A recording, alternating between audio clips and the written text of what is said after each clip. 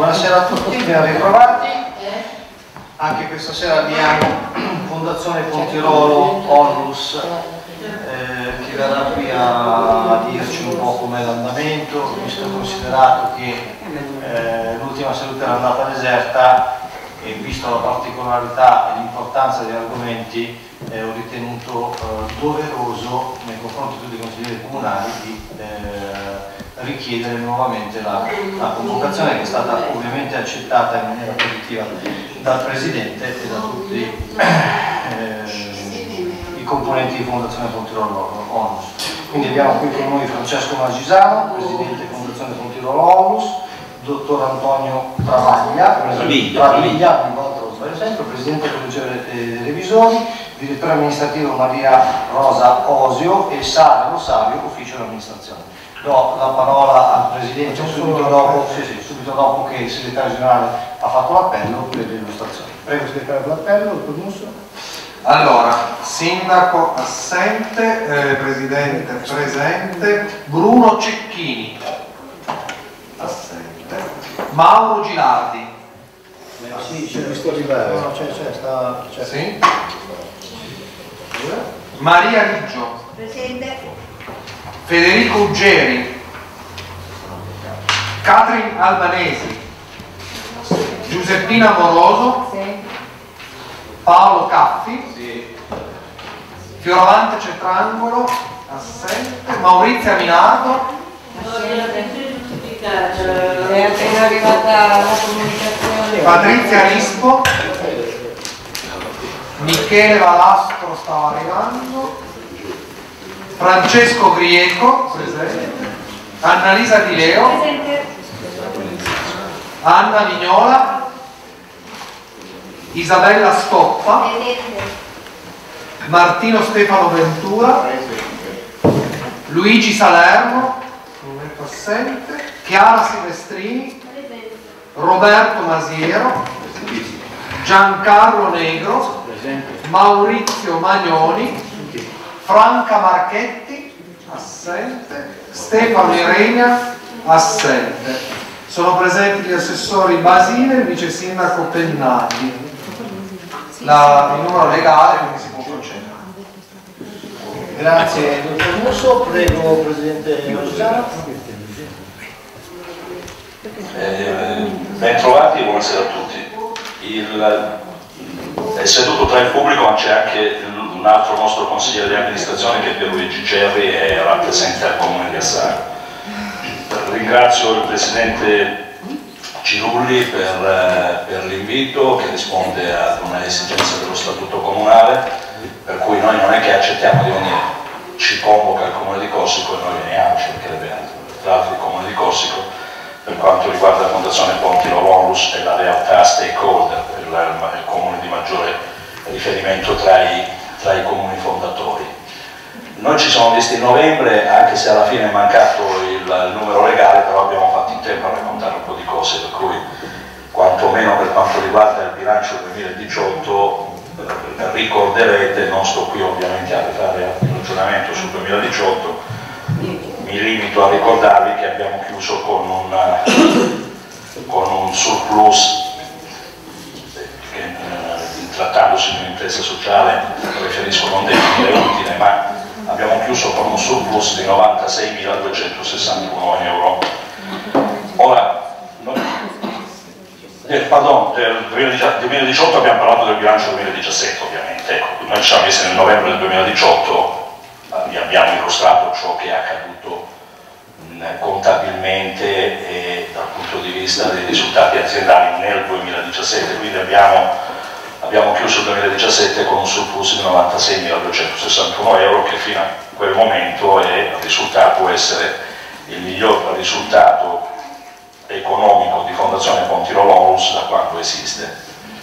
Non c'è mai, mai, stato un risultato di questo tipo da quando esiste Fondazione Ponti Rolonus. cosa era accaduto nel 2017?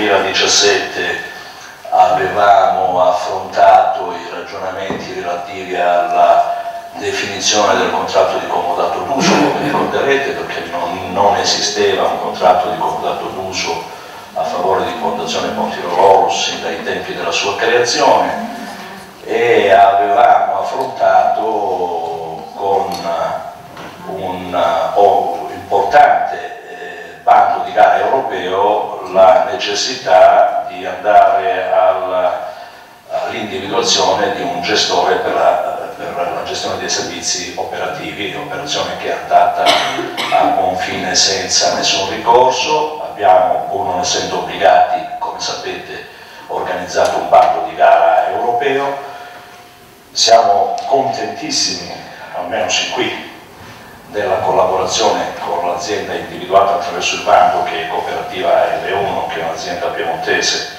con sede a Casale Monferrato, si tratta di un player nazionale, ha un fatturato di circa 120 milioni di euro, eh, siamo molto soddisfatti dell'individuazione dell dell'azienda in, uh, in, collaborazione con noi dal, dall'autunno del 2017, anche perché come, come, dire, come ulteriore soddisfazione sia per noi che per i dipendenti diretti della cooperativa che si occupano della gestione dei servizi operativi hanno portato in dote la novità per i nostri lavoratori della cassa sanitaria interna, che non è poco, cosa che non avevano prima, non avevano mai avuto prima, e quindi una, dire, un cadeau di una certa soddisfazione per i dipendenti eh, di cooperative L1 che espletano il lavoro diretto e operativo in corsia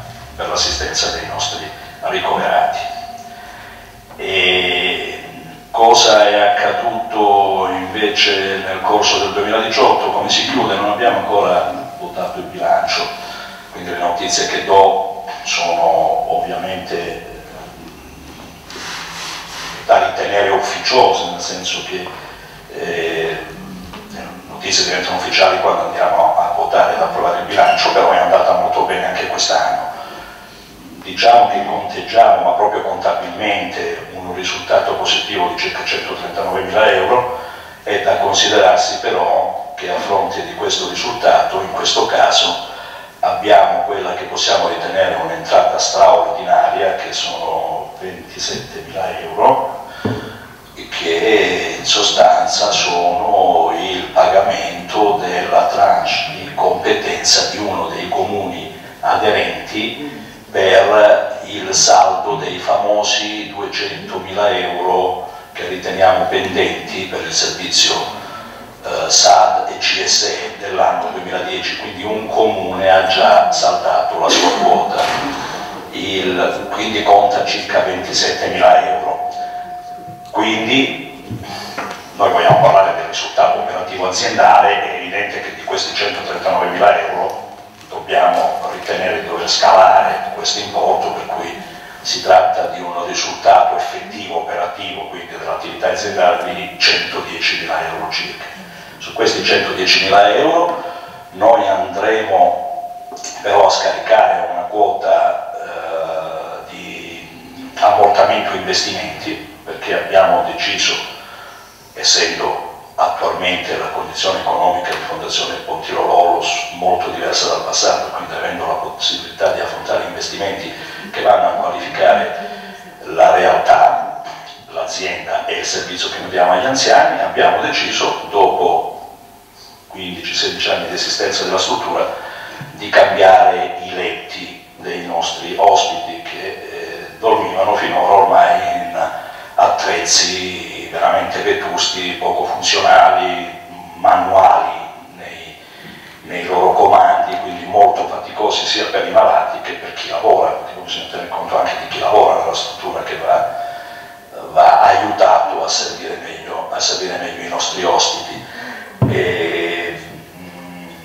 L'intervento complessivo è valutato in circa 92.000 euro, la prima parte è stata affrontata nel 2018, quindi la prima ala è stata già completata, quindi i primi 30 letti, la seconda parte si concluderà nel 2019, quindi a metà febbraio, quindi noi scaleremo dal nostro risultato circa 20.000 euro per, come ammortamento dell'investimento effettuato nel 2018, quindi il risultato effettivo operativo sarà molto simile a quello dell'anno scorso, intorno ai 96.000 euro, 90.000 euro, 96.000 euro. Quindi direi che anche questa sera, anche in questo caso, vi stiamo dando, vi stiamo dando buone notizie. Per tornare al discorso dei 200.000 euro abbiamo quindi una situazione nella quale abbiamo un comune che ha già provveduto a saldare l'importo di sua competenza con parere eh, positivo sia del segretario generale del comune di riferimento, sia dei revisori dei conti di quel comune di riferimento e della giunta ovviamente che ha assunto la decisione di provvedere al pagamento di quanto dovuto. Abbiamo in corso di definizione eh, più o meno immediata, quindi si concluderà nelle prossime settimane, un'altra quota di rimborso da parte di altro comune, di altro comune aderente e, fondatore di Fondazione Pontino Lorlus e un terzo comune abbiamo notizia che ha provveduto a collocare in bilancio l'importo dovuto a Fondazione Pontino Lorlus e i ragionamenti per i 200.000 euro continuano ad essere in itinere. E quindi diciamo che anche da questo punto di vista stiamo andando avanti. E la notizia tra il novembre 2018, quando ci siamo visti eh, sia pure eh, nel modo in cui come, come, come è stato possibile nel novembre 2018 e oggi, e che abbiamo finalmente portato a conclusione un altro tema annoso che era in piedi dalla fondazione dell'azienda, che era la suddivisione finalmente delle quote di proprietà in carico ai comuni della proprietà, che non è una cosa di poco conto.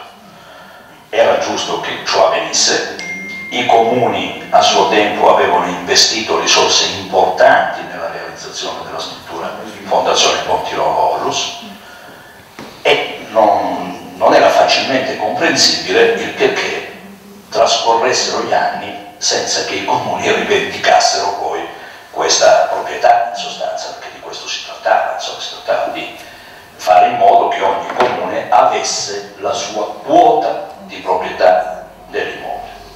Anche qui, per un esercizio di trasparenza, bisogna ricordare che Fondazione Pontirono Onus dovrà trattare un tema che riguarda anche la proprietà immobiliare perché è da ricordarsi che per una situazione ovviamente di emergenza, anche di obbligo all'epoca da parte degli organi di controllo delle aziende sanitarie fu urgentissimo realizzare camera mortuaria e magazzini, è da ricordarsi che quell'operazione fu fatta con risorse di Fondazione Ponti Rolorus, quindi siamo andati, si andati all'epoca ad arricchire un bene che non era di nostra proprietà, quindi quella piccola quota Fondazione Ponti Rolorus in qualche modo, ma pacificamente, tranquillamente, serenamente, così come devono essere i rapporti di lavoro di affari tra entità economiche, rivendicare il riconoscimento di questa quota di proprietà o in qualche modo arrivare a regolarizzare anche questa, questa situazione con serenità e con tranquillità.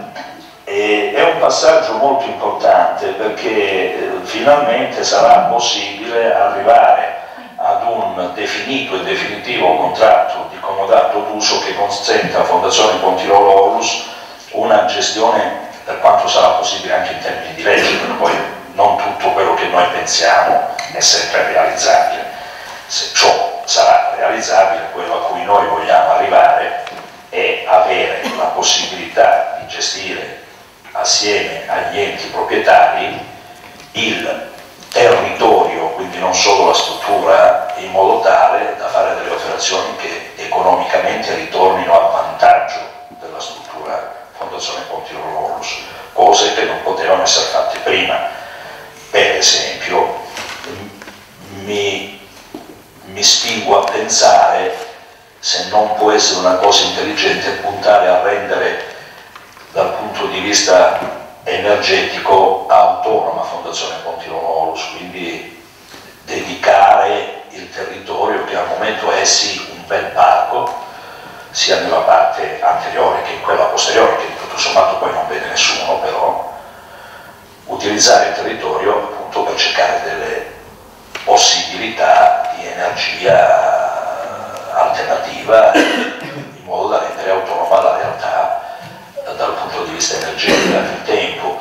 Quindi il fatto che si sia definita la proprietà tra i comuni può tornare a vantaggio anche per la definizione di un nuovo contratto di comodato d'uso che prima era complicato dal fatto che l'interlocutore era il solo comune di Assago che però doveva tenere eh, ne, fermo nei suoi ragionamenti il fatto che in realtà la proprietà non era solo del comune di Assago, per cui bisognava sempre contrattualizzare il fatto che comunque si rinviava anche alle decisioni degli altri comuni. Questo oggi è pacifico perché ogni comune ha la sua fettina di proprietà, quindi noi andremo a ridiscutere il contratto di comodato d'uso e eh, speriamo di poter ottenere questa possibile libertà di movimenti per, per ottenere ulteriori vantaggi dal punto di vista operativo allo scopo di migliorare il servizio per i nostri utenti. Per quanto riguarda i programmi futuri, io capisco che uno può dire vabbè, sono argomenti un po' noiosi, però questo è, noi questo facciamo, dobbiamo cercare di far star bene i nostri, i nostri anziani. E ci viene, come dire, ora segnalato piuttosto seriamente, ora, ecco, perché siamo al limite dalle, dagli organi di controllo sanitario che è necessario tinteggiare, cioè non è un capriccio, è un problema. Cioè, quando arrivano gli ispettori dell'ATS la prima volta ti dicono eh, la è, la seconda volta però la è, e la parte però, però bisogna tinteggiare, bisogna tinteggiare, cioè non è che possiamo più far finta di nulla, tenuto conto del fatto che da quando è stato costruito l'inutile non è mai stato fatto. Quindi ora bisogna tinteggiare, non è una scelta. E l'impegno lì non è di poco conto. Ora noi sicuramente rinunceremo alla tinteggiatura dei nostri uffici, ma dove stanno i nostri ricoverati senza se e senza ma è una cosa che va fatta, non ci sono, non ci sono dubbi, per cui ecco, tanto per dire, i soldi che entrano da noi vengono spesi per queste cose. E sicuramente organizzeremo un'altra occasione di incontro con gli amministratori comunali, anche perché vorremmo farvi vedere la, chi ha visto la realtà precedentemente con i letti che avevamo, oggi è tutta un'altra cosa, insomma, i, i, nostri addetti che con un pulsante sollevano il malato, eh, rendono molto più agevole l'attività che non è facile, posso, credo che voi lo immaginiate, molti di voi sono venuti hanno visto la realtà come l'attività degli addetti OSE ASA non è proprio così semplice. Ecco, I nostri ricoverati, salvo eccezioni, salvo, salvo situazioni di grande eccezione, ancora abbiamo giovanotti o magari anche ultranovantenni, ma ancora in gamba, si tratta di, di persone estremamente fragili, quindi anche vanno toccati con una certa grazia, con una certa delicatezza e anche gli strumenti che si hanno a disposizione devono essere tecnologicamente, tecnologicamente adeguati. Per fortuna da questo punto di vista collaboriamo con un'azienda veramente di primo ordine. Loro stessi, ne ha parlato, non so se con la direzione amministrativa il, il, direttore di, di L2 mi ha accennato, ma per esempio loro stanno studiando una strumentazione fatta di materiale tra il caucciù e qualcosa di simile che aiuterà, e pare che saremo utilizzati noi come sperimentazione, aiuterà eh, gli addetti a sollevare malati senza, perché a volte anche inavvertitamente, ma il fatto di agganciare le braccia di uno dei nostri ricoverati e tirarlo su inavvertitamente può provocare dei danni. Questa, questo sistema che loro stanno studiando e realizzando sarà molto probabilmente sperimentato la prima volta da noi, aiuterà eh, i nostri addetti a tirare su il malato senza costringerlo con le mani, per cui con migliore capacità di rispetto del, del corpo dei nostri, dei nostri, ricoverati. Non so se mi, se mi sfugge qualcosa, ma ecco, quello che mi interessava segnalarvi era appunto che questo, Fondazione Pontino Lonus, questa sera voglio evitare le polemiche, eh, a differenza di quanto si è ritenuto in epoche passate, è un'azienda che può stare sul mercato. Quando siamo arrivati noi, può stare sul mercato dando soddisfazione ai malati, dando soddisfazione a se stessa e dando eh, soddisfazione e lustro ai comuni che l'hanno affrontata. Il, mm, quando noi siamo arrivati, eh, uno dei primi interrogativi era capire come era possibile che un'azienda alla quale non mancano i clienti, non mancano, chiamiamoli utenti meglio, ma eh, non c'è soluzione di continuità, cioè noi abbiamo il problema di non riuscire a soddisfare la domanda. Questo è il problema di Fondazione Pontino Longus. Non abbiamo proprio la possibilità di soddisfare, c'è sempre fila. Non, no. Se fosse grande il doppio Fondazione Pontino Longus avrebbe, continuerebbe, se ben gestito ovviamente, continuerebbe ad avere il problema di poter soddisfare la domanda. E, l'ultima rilevazione dell'indice di soddisfazione da parte degli utenti misura il 92%. E le domande sono quelle che conoscete, quelle che rivolgiamo nel... si conclude sempre il questionario con la fatidica domanda consiglieresti l'azienda ad altri utenti?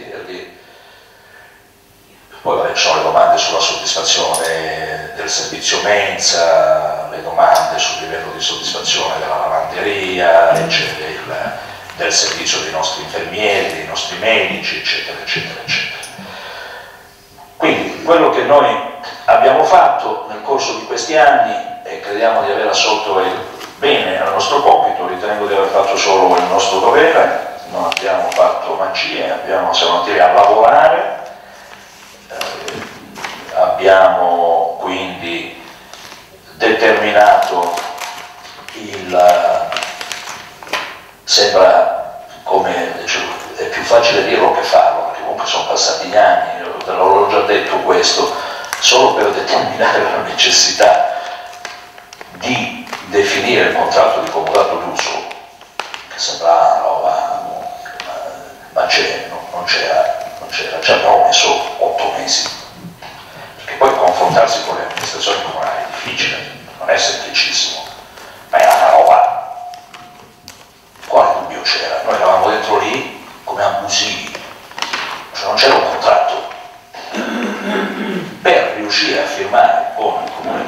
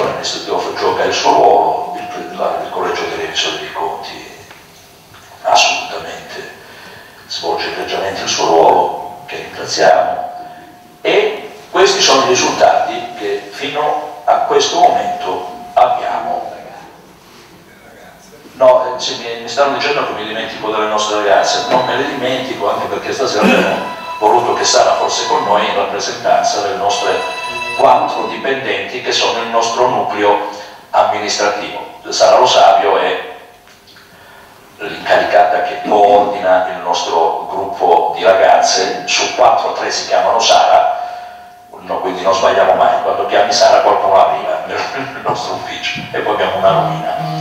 Il, eh, quindi ringraziando tutti le cose stanno andando molto bene direi, eh, si desidera continuare su, questa, su questo crinale e continuare a portare risultati positivi. A Fondazione Pontirolo Orlus, ai nostri ricoverati, perché quello facciamo, quello vogliamo fare, va dato il miglior servizio possibile di quello che vogliamo ottenere e naturalmente di conseguenza dare lustro e soddisfazione ai comuni che hanno fondato l'azienda e che ci hanno incaricato di portare avanti questo lavoro che speriamo di riuscire a continuare bene così come è stato fatto fino ad ora e nelle prossime settimane vi comunicheremo la data di questo, magari lo faremo dopo che avremo completato la, anche l'altra ala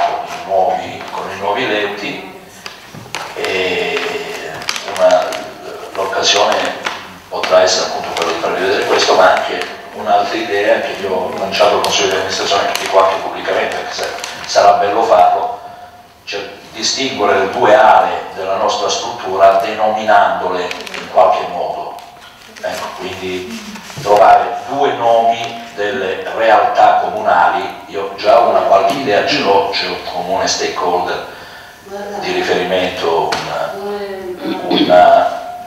un'idea, mi riferisco a Corsico, poi trovare il nome di un altro personaggio che si sia distinto in qualche modo nelle altre città che aderiscono alla Fondazione Pontirolorus per denominare le due ali, le due ali del, i due nuclei più che ali, i due nuclei del nostro, della, nostra, della nostra realtà.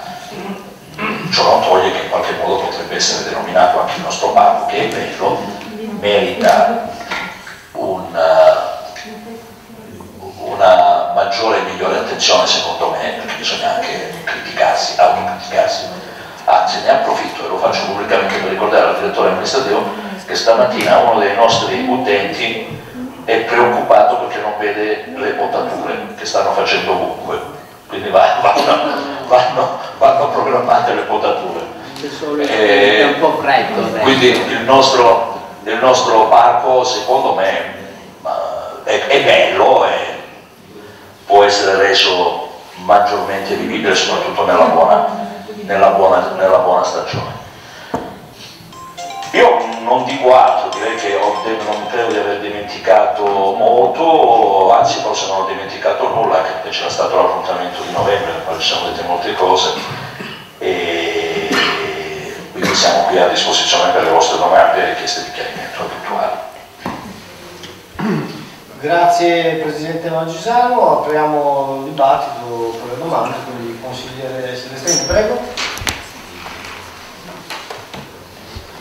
Grazie, allora io vi ringrazio per essere qui e ringrazio il Presidente Magisano per questa relazione molto dettagliata che ha fatto. Eh, sicuramente i risultati ehm, sono molto buoni ed è un peccato non averli avuti prima, sicuramente. E qui bisognerebbe fare un discorso sulle passate amministrazioni, come ha detto lei. Eh, io vorrei fare due domande, una su quali sono, se è possibile sapere, i nomi dei tre comuni che in parte hanno già saldato la loro quota di quei famosi 200.000 euro o, eh, e quelli che eh, ah, stanno provvedendo comunque che hanno intenzione di, quindi questi tre comuni se è possibile sapere quali sono e se poi ha già interloquito con il comune di Corsico su questa cosa, cioè se ha avuto già ehm, delle, delle interlocuzioni e che risposte ha avuto dal comune di Corsico. Grazie. Grazie consigliere Silvestrini, come procediamo? Preferite rispondere domanda a domanda o possiamo fare domande? Come volete, sì, per me Quindi? rispondo, rispondo. Ok, anche perché magari poi si possono come dire, stimolare altre. Va bene, prego Presidente Mangisano. Sì, allora, la situazione sui 200.000 euro è, ehm, è estremamente complicata. eh. Su questo, ora, eh, i comuni che hanno- il comune che ha pagato è Bucinasco, ha saldato la quota di sua pertinenza. E a Sago abbiamo firmato il- l'accordo e quindi provvederà nei prossimi mesi e Scusa, prossimi settimane dobbiamo aspettare l'approvazione del bilancio. Sì, perché hanno messo la posta Posta bilancio per cui Non stai il microfono, sono alta. la- hanno messo la, la posta a bilancio per cui dovranno approvarlo poi. La stessa cosa a Trezzano su Naviglio, ha messo la posta a bilancio e poi si definirà. Il, allora, Corsico, mh, allora, i ragionamenti dove, in quale sede vengono fatti su queste questioni qui non sono ovviamente a persona. Esiste un organo che è la conferenza dei sindaci di Fondazione Pontirolo Opus, è il luogo dove vengono discusse, discussi e affrontati questi temi. E, eh, la discussione è in piedi dall'autunno del 2016, non è una discussione che è nata poco tempo fa. La situazione è estremamente complicata per eh, il fatto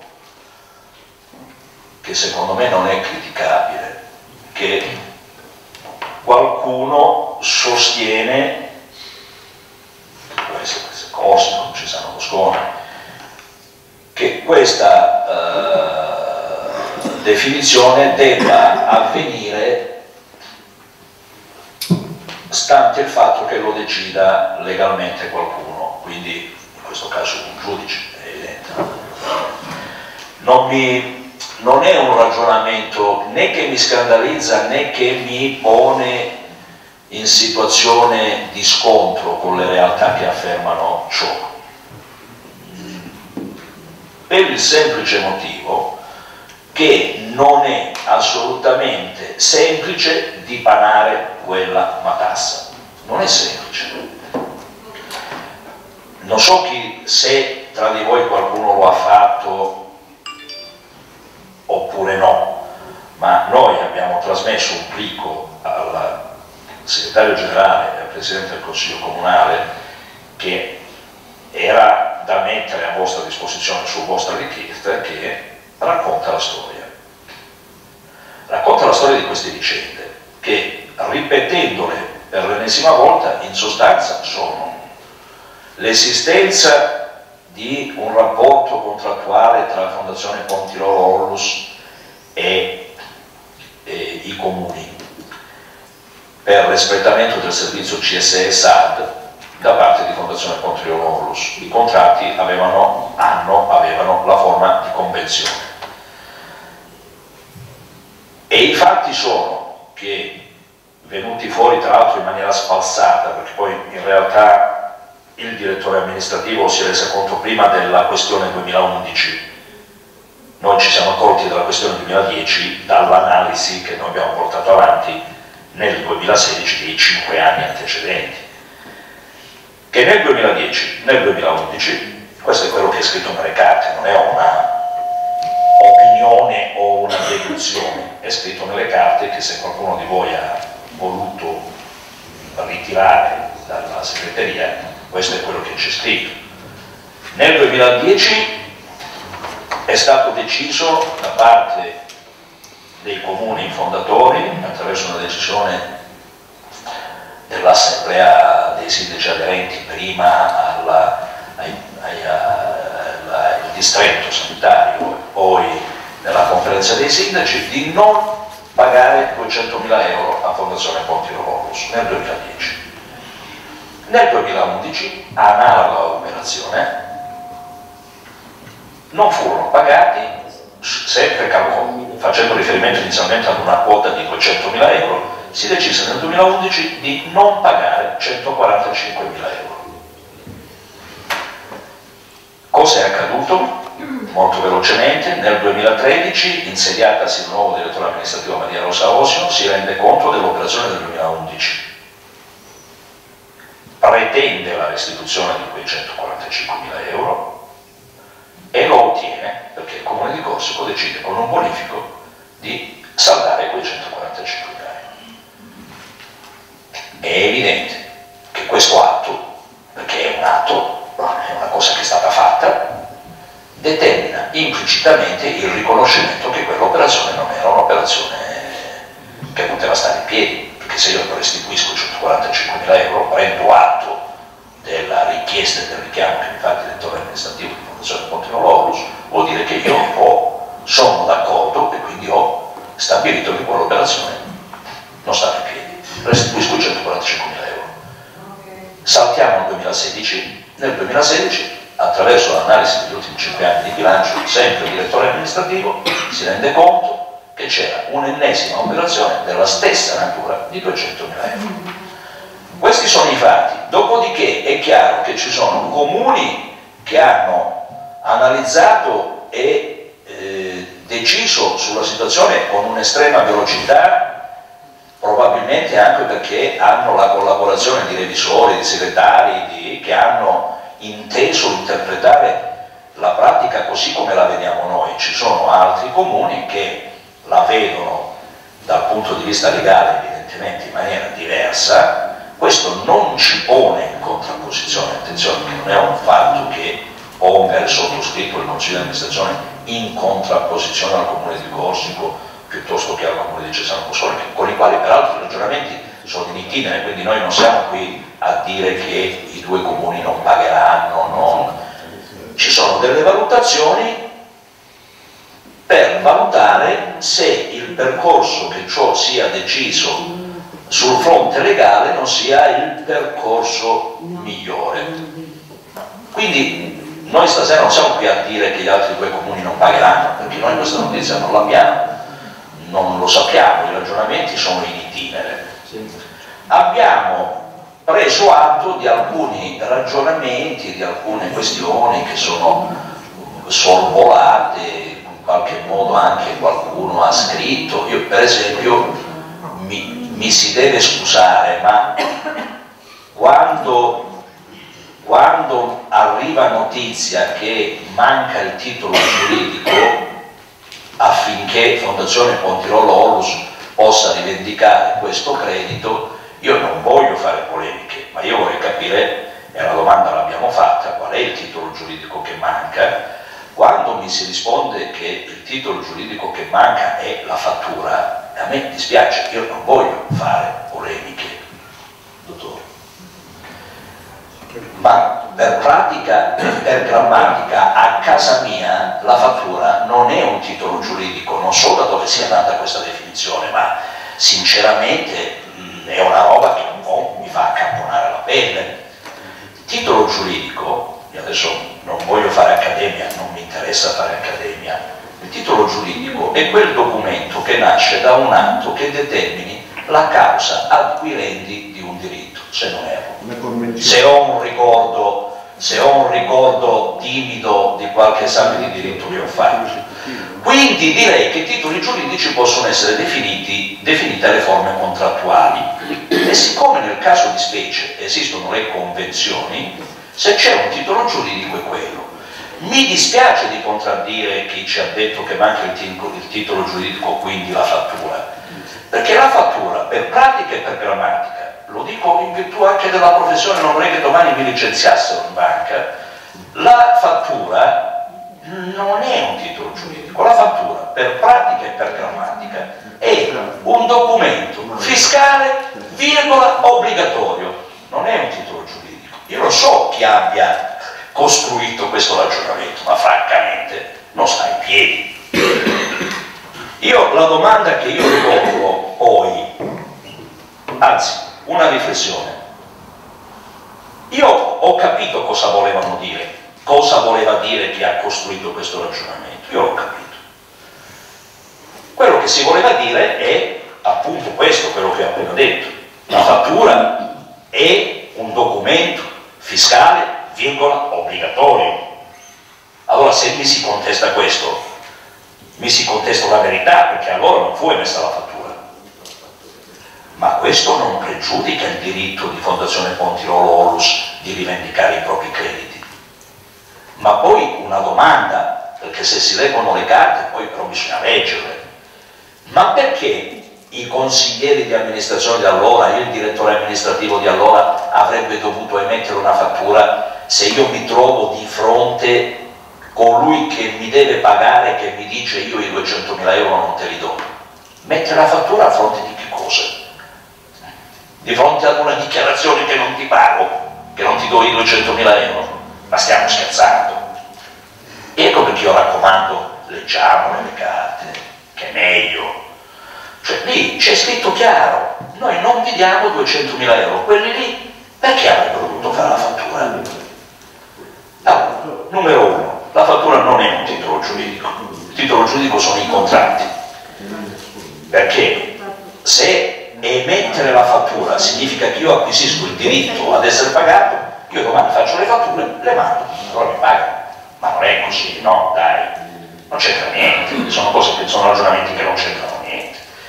È come se noi un domani ci svegliamo in Fondazione Ponti Lololus e mandiamo al consigliere Magnone una fattura di 4.000 euro perché abbiamo deciso che ci deve dare 4.000 euro, ma ce li darà se esiste un contratto, perché non perché metto la fattura, chi c'entra? Cioè, il titolo giuridico è una roba, la fattura è un'altra cosa, sono due cose distinte e separate. La fattura è la conseguenza di un titolo giuridico preesistente, quindi un contratto. Mi dispiace, non volevo fare accademia, però certe cose vanno dette. Ma non ti paga se non metti No, se, se, non, se, no, se, non c'è un contratto, no. Questo, questo, questo è il fatto. Grazie Presidente, altri? Chiedo scusa ma io e la consigliera Rispo dobbiamo abbandonare l'aula in quanto abbiamo una riunione molto importante. Prego, consigliere Girardi. Buonasera, no, io avevo solo una curiosità perché il, eh, il dottor Magisano ha parlato di un accordo con il comune di Assago per il rientro del credito vantato. Ecco, eh, volevo sapere, visto che la situazione, come ha spiegato dal punto giuridico, è molto chiara secondo lei, in questo accordo che cosa è contenuto? può spiegare? Grazie. No, no, non si tratta di un accordo, e attenzione, il- i comuni che stanno... No, no, no, no, no, no, se adesso se ne ho detto accordo è un errore, chiedo scusa. no, no, no, attenzione, il, il tema non è che c'è un accordo, cioè i comuni che hanno deciso di pagare hanno riconosciuto il debito, quindi il credito di Fondazione Pontirolo Onus, no, no, forse ho capito, no, hanno aderito al nostro accordo di transazione. E l'accordo di transazione è sei d'accordo che mi devi 25.000 euro eh? Quindi c'è il riconoscimento e si mettono nelle condizioni di poterlo pagare questa attività il comune di Fucinasco l'ha già espletata tutta cioè nel senso che abbiamo già incassato i 27.000 euro che sono quelli che io vi ho detto detrago dai 139.000 euro di utile perché è corretto che sia così, cioè non posso dichiarare un utile operativo se non lo è. Mi fa utile, però non, è, non dipende dal mio lavoro, dipende da un'entrata straordinaria. Quindi questo è, nel senso sì, no, confermo che è vero, ma mi riferivo al- all'accordo che- transattivo organizzato dal nostro legale. Quindi è stato riconosciuto il debito da parte del comune e il credito di fondazione. Grazie. Grazie Presidente, altri? Vasino, prego. Allora, innanzitutto, cioè, congratulazioni per le performance, che sono notevoli, e naturalmente ci auguriamo che possa, persegu- possa proseguire. Io volevo chiedere le sue riflessioni su un paio di, di cose. Una è il futuro. A questo punto come investirete i profitti? Cioè quali investimenti pensate di fare per... Eh, me- gliel'avevo già chiesto mh, eh, alla sua audizione quando ero presente. L'ultimo ne ero presente ma ho studiato con attenzione cosa, cosa, cosa avete detto. E quindi in questo senso mi interessa eh, la sua idea rispetto allo sviluppo di questa eh, importante fondazione. Eh, sia dal punto di vista eh, del eh, rapporto rispetto a un mercato, che è il mercato del cui le azioni, rispetto a cui concordo sul fatto che all'interno di questa città esiste una carenza, sia in percorsi è nata proprio su questo punto qualificante del programma del 95 che era l'esigenza di costruire strutture adeguate per far fronte. Credo che oggi noi abbiamo ancora questo problema di nuovo. Quindi da questo punto di vista qual è la sua visione, da questo punto di vista, la strategia di sviluppo di questa istituzione? La seconda è relativa alla governance. Quindi nella sua audizione aveva parlato di governance duale e quindi aveva detto con molta, definito con molta precisione questa- questo elemento, non ci rischiamarlo, ha detto che la Fondazione Fontirolo è un ente di diritto privato sotto controllo pubblico, in base a eh, eh, elementi di governance duale. Eh, la Fondazione codificata dal diritto civile italiano non dove non si configura l'istituto della Fondazione di partecipazione, è eh, inve- invece finanziata in prevalenza da fondi privati ma si comporta come un ente pubblico, e quindi tutto il tema dire, del bando europeo, eccetera. Bene, ma a questo punto qual è il futuro che li vede? Cioè vede con progressivo come dire, distacco e rottura del cordone ombelicale con i comuni originari o quale altro tipo, come evolve la governance attuale nella sua visione? Il terzo elemento è un elemento di riflessione importante, nel senso che evidentemente sono successe delle cose significative, se è vero che nel corso della commissione istituzionale che si è tenuta a fine settembre, Balasto lo ricorderà, nel corso di questa conferenza, di nel corso di questa eh, commissione istituzionale a fine settembre, siamo stati informati da un funzionario dell'amministrazione ed è stato confermato poi da colleghi in quella sede che nel corso della conferenza dei sindaci tenutasi la settimana scorsa, quindi a fine settembre, i ragionieri di tutti i comuni hanno confermato l'insussistenza di qualsiasi titolo giuridico legittimante la pretesa di un qualsiasi forma di pagamento. Quindi si è affermato non esiste un titolo a questo punto esecutivo, e quindi bisogna capire bene del titolo giuridico, titolo esecutivo, che cosa. Eh, quindi questa era la posizione che ci è stata comunicata quattro mesi fa. Ora verifichiamo che dopo mesi la situazione si è sviluppata, si è, si è evoluta significativamente. Nel corso dell'audizione del novembre 2018 il sindaco Errante ha sostenuto il presidente Magisano non dico che siamo arrivati alle mani, ma ci sono posizioni di responsabilità dove ognuno deve fare il suo, voi mi porterete in giudizio, io rispondo per tre gradi di giudizio, se condannato mi, mi, mi, rivalgo con la riconvenzionale su terzi, ciascuno per quota. E mi pare una posizione diversa da una posizione negoziata. Allora, da questo punto di vista, vorrei capire, primo, quali sono gli elementi che hanno indotto i ragionieri di quei tre comuni, o comunque l'amministrazione di quei tre comuni, a modificare così radicalmente la loro posizione nel corso degli ultimi quattro mesi. La seconda domanda che vorrei chiedere, e la rivolgo a suocera, Presidente Magisano, perché nuova, no, nuova perché sono nuova, Presidente Magisano, perché suocera, i consiglieri colleghi intendano, è che allora o lei ha ragione, quindi questo titolo giuridico esecutivo che diavolo sia la convenzione vale come titolo giuridico e quindi questo giustifica il pagamento da parte di Bucinasco e altri, oppure no. Allora, se no, c'è qualcuno all'interno di questi eh, comuni che è passibile di danno erariale. Se sì, questo comune è, in, è carente perché non ha riconosciuto il debito fuori bilancio.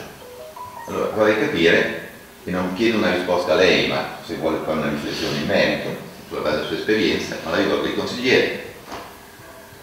E mi sembra abbastanza chiaro, io ho ripetutamente sostenuto anche in vivaci eh, situazioni che non voglio richiamare, che un riconoscimento in qualche modo deve essere fatto sulla base dell'articolo 84 del regolamento contabile di questo comune, punto numero 2, che dice nelle situazioni in cui al mancato tempestivo riconoscimento è collegato il rischio di maggiori gravami o maturare di interesse comunque un danno patrimoniale di pregiudizio alla salvaguardia dell'equilibrio di bilancio, il riconoscimento dei debiti fuori bilancio viene effettuato in via d'urgenza, anche al di fuori delle scadenze, eccetera, eccetera. E c'è una procedura precisa. Quindi da questo punto di vista, signori, noi abbiamo impegno molto preciso se il dottor Megisano ha ragione e questo a questo punto è confermato dal fatto che alcuni comuni hanno deciso per l'esistenza evidentemente di un titolo esecutivo quindi esiste un problemino che dovremo affrontare Prego, Presidente Vasigiano. Sì, eh, no, solo un piccolo chiarimento. La, la riunione dei, dei ragionieri, Sì. della no, però non è avvenuta nella conferenza dei sindaci, alla conferenza dei sindaci partecipano solo i sindaci. Mi pare che si sia trattato di una riunione dei dirigenti. Ripeto, io non voglio fare polemiche, non voglio entrare perché qui si parla di, di persone che svolgono delle attività estremamente importanti e fondamentali nelle realtà comunali però non so- io non so se hanno parlato di titolo giuridico titolo esecutivo, ancora siamo in terminologie che nel nostro caso ti- non so cosa c'entra il titolo esecutivo, io adesso anche lui eh, fa oggi il commercialista revisore dei conti, ma è un ex collega bancario, la concorrenza, perché era in Unicredit, però il titolo esecutivo, crediti, dai, crediti, mi, mi corregge, crediti me è una ben altra storia in effetti. Il, eh, io e lui che cosa sia un titolo es- esecutivo lo sappiamo benissimo, che cosa c'entra in questa storia, ma, dico ma, tre punti e vado avanti. Il eh, titolo giuridico ho chiarito, titolo giuridico sono i contratti, non le fatture, cioè chi dà, chi determina l'esistenza di un diritto e di un'obbligazione è un contratto. Nel nostro caso di specie la convenzione poneva a Fondazione Ponti Rolobus l'obbligo di fornire servizi e il diritto di essere pagato. Per i comuni il diritto di avere i servizi ma l'obbligo di pagarli. Quello che sappiamo dalla storia è che ciò in due casi non è avvenuto. Io vorrei capire di cosa stiamo continuando a discutere. Se qualcuno me lo spiega, io magari lo capisco, però vorrei che qualcuno me lo spiegasse. Vogliamo mettere in dubbio che quei rapporti di collaborazione esistessero?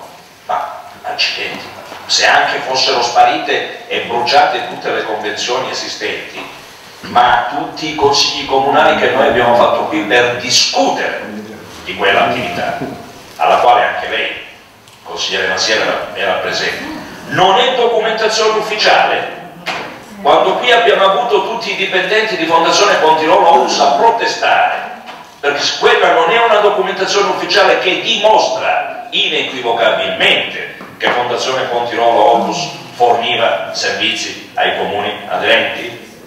E allora voglio dire, di cosa stiamo discutendo? Io non metto in discussione però, questo lo voglio chiarire, la posizione di quei comuni, essendo la situazione poco chiara, perché diciamocelo, mettere insieme la contabilità di quegli anni pare che sia un esercizio impossibile. Io non lo so perché noi, direttore, lo possiamo dire, abbiamo chiesto e richiesto di avere, anche per capire come mettere insieme le cifre di quegli anni, sembra che sia un'attività impossibile. Quindi io i comuni che si lamentano per dire ma per la miseria, io sono arrivato dopo, sono venuto dopo, mi trovo qui una grana, ma vorrei capirci qualcosa, o qualcuno che mi aiutasse a dipanare sta matassa. Poi il comportamento diverso da parte dei comuni dipende proprio da questo, c'è chi ha analizzato, si è convinto, c'è chi, anche in ragione della dimensione degli esposti, eh, che anche quello gioca, perché se io devo tirare fuori 10.000 euro, 20.000 euro è un discorso, ma se ne devo tirare fuori 80.000, aspetta, ragioniamo. Cioè non è che io sono scandalizzato da certe posizioni, le comprendo bene, perché è una bella sorpresa. Immaginatevi quale felicità può esistere nell'amico sindaco di Cesaro Boscone, il quale si assume l'onore e l'onere di governare i piani di zona e immediatamente gli arriva sta roba, cioè non penso che possa essere l'uomo più felice del mondo, cioè qualche riflessione lui la farà per dire cambiamoci, cioè qualcuno mi convinca che le cose stanno davvero così, non mi scandalizzano queste posizioni, per cui ripeto, i discorsi sono in itinere, stiamo discutendo, ci sono comuni che i dirigenti, i segretari, nel caso di Bucinasco abbiamo detto, abbiamo appreso che anche i revisori dei conti hanno preso in mano la situazione, comprendendola fino in fondo, capendola, e così l'hanno pagato, l'hanno pagato.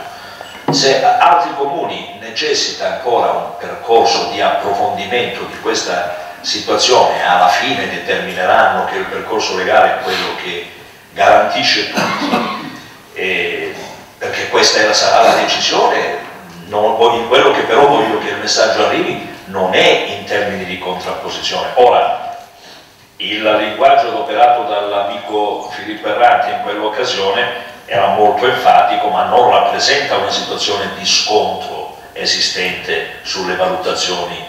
No, no, questo lo dico nella, nella conferenza dei sindaci, poi è chiaro che deve difendere una posizione della quale la, questa amministrazione è convinta, no? nel senso che, però, ripeto, noi non siamo scandalizzati, eh, né offesi, né, eh, perché qui ci sono due esigenze, due esigenze che sono fondamentali.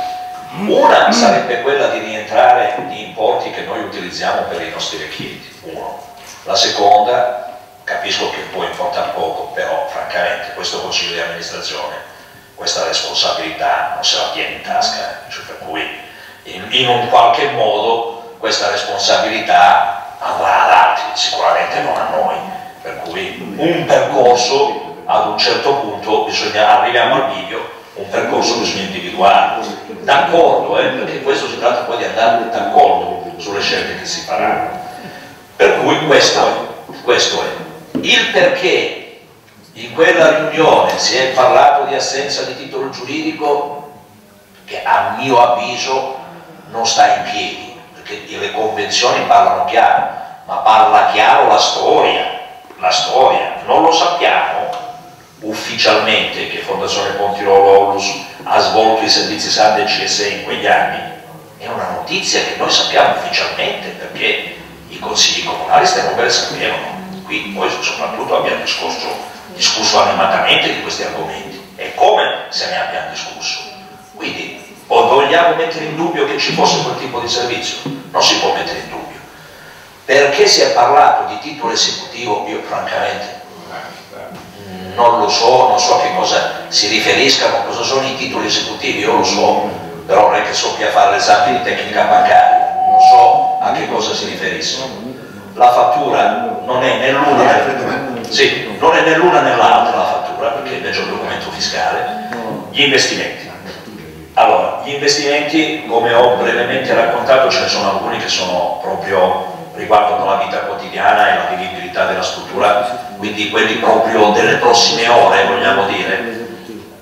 Lo so che è noioso, però la tinteggiatura dobbiamo farla, anche perché voi sapete che nelle strutture sanitarie la tinteggiatura non è come tinteggiare casa, è qualcosa di particolare, le imprese devono essere particolari, fatte in un certo modo, eccetera.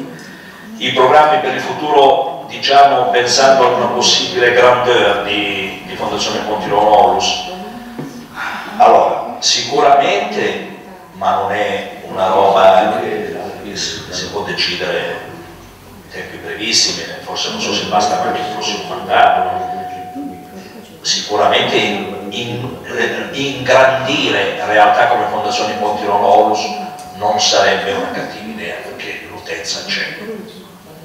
In che modo può essere fatto? Fondazione Pontirolo Onlus sta dimostrando di essere in grado di andare avanti da sola. Sappiamo però, ma perché dobbiamo essere realisti, che non possiamo chiedere sforzi economici in termini di investimento di questo tipo ai comuni. Noi stiamo dimostrando di essere capaci da soli e, e si può fare. No, sappiamo però già da ora che non si possono coinvolgere gli investimenti di questo tipo i comuni perché le risorse servono per altro, servono direttamente per la città. E, e non si può pretendere ulteriori sforzi perché comunque guardate che i comuni aver sopportato già la suddivisione della proprietà insomma hanno dovuto tirare fuori dei soldi corsi con 68 mila euro tanto per essere chiari in termini di imposte per il passaggio di proprietà. Quindi non è poco ingrandire in realtà come Fondazione Ponti Rosso non è una cattiva idea sotto quale forma si può fare è tutto da studiare la, la, la struttura immobiliare oggi è di proprietà dei comuni è vero è, me lo ricorda sempre il direttore amministrativo che l'accordo di programma iniziale eh, stabiliva che l'immobile avrebbe dovuto essere passato in proprietà alla fondazione. Questo è un altro tema sulla quale non è che ci ingaggiamo in un'altra guerra, perché sennò qui si fanno sempre ragionamenti di scontro e non. Però è vero quello che dice il direttore amministrativo, nell'accordo di programma iniziale c'era il fatto che la proprietà avrebbe dovuto essere affidata direttamente alla Fondazione Montirolo Olus.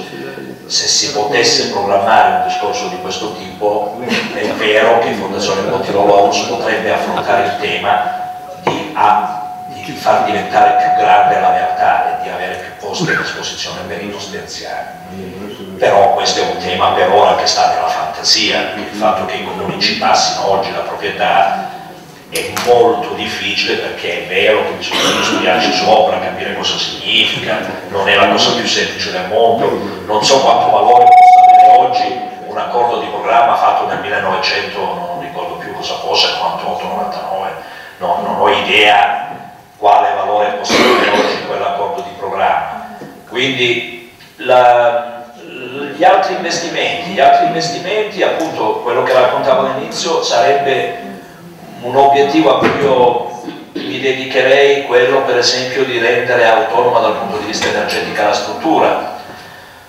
un sogno che io personalmente ho nel cassetto e che non ho ancora condiviso con i colleghi del consiglio di amministrazione ma lo dico eh, solo eh, potrebbe essere importante noi non abbiamo tralasciato l'argomento delle politiche sociali in questi due anni di attività io non so se abbiamo fatto poco o molto, però abbiamo organizzato due o tre appuntamenti nei quali ci siamo ritrovati a discutere della necessità e dello sviluppo delle imprese sociali sul territorio. Perché non pensare che Fondazione Pontirolo Olus possa dare una mano al mondo del lavoro diventando anche un punto di formazione di addetti all'attività nelle RSA, cioè essere messi noi nelle condizioni di poter rilasciare i diplomi dopo il periodo adeguato di formazione per OS e ASA, visto che ce n'è bisogno come il pane. Dobbiamo pensare anche a questo, no? non solo ai risultati economici, dobbiamo pensare anche a reinvestire quello che diventa soddisfazione economica anche per le politiche sociali del territorio. E io penso che ehm, imprese come Fondazione Ponti Lonus possano pensare anche alle politiche del lavoro. E in che modo possiamo farlo? Formando, formando delle persone che possano lavorare in un settore importante eh, per eh, lavorare da noi o per lavorare altrove o comunque per dare la possibilità di una chance, di un lavoro, di una possibilità di portarsi a casa uno stipendio. Ecco, questi sono, sono, alcuni dei temi che ci piacerebbe sviluppare. Questo della formazione, per la verità, non avevo, lo dico, lo sto dicendo per un desiderio personale e sarà uno degli argomenti con, per, sul quale mi confronterò con il Consiglio di amministrazione nelle prossime settimane per vedere se è possibile organizzare un percorso, un percorso di questo tipo. Direi che se è possibile bisogna farlo. Grazie. Prego, consigliere Cirone.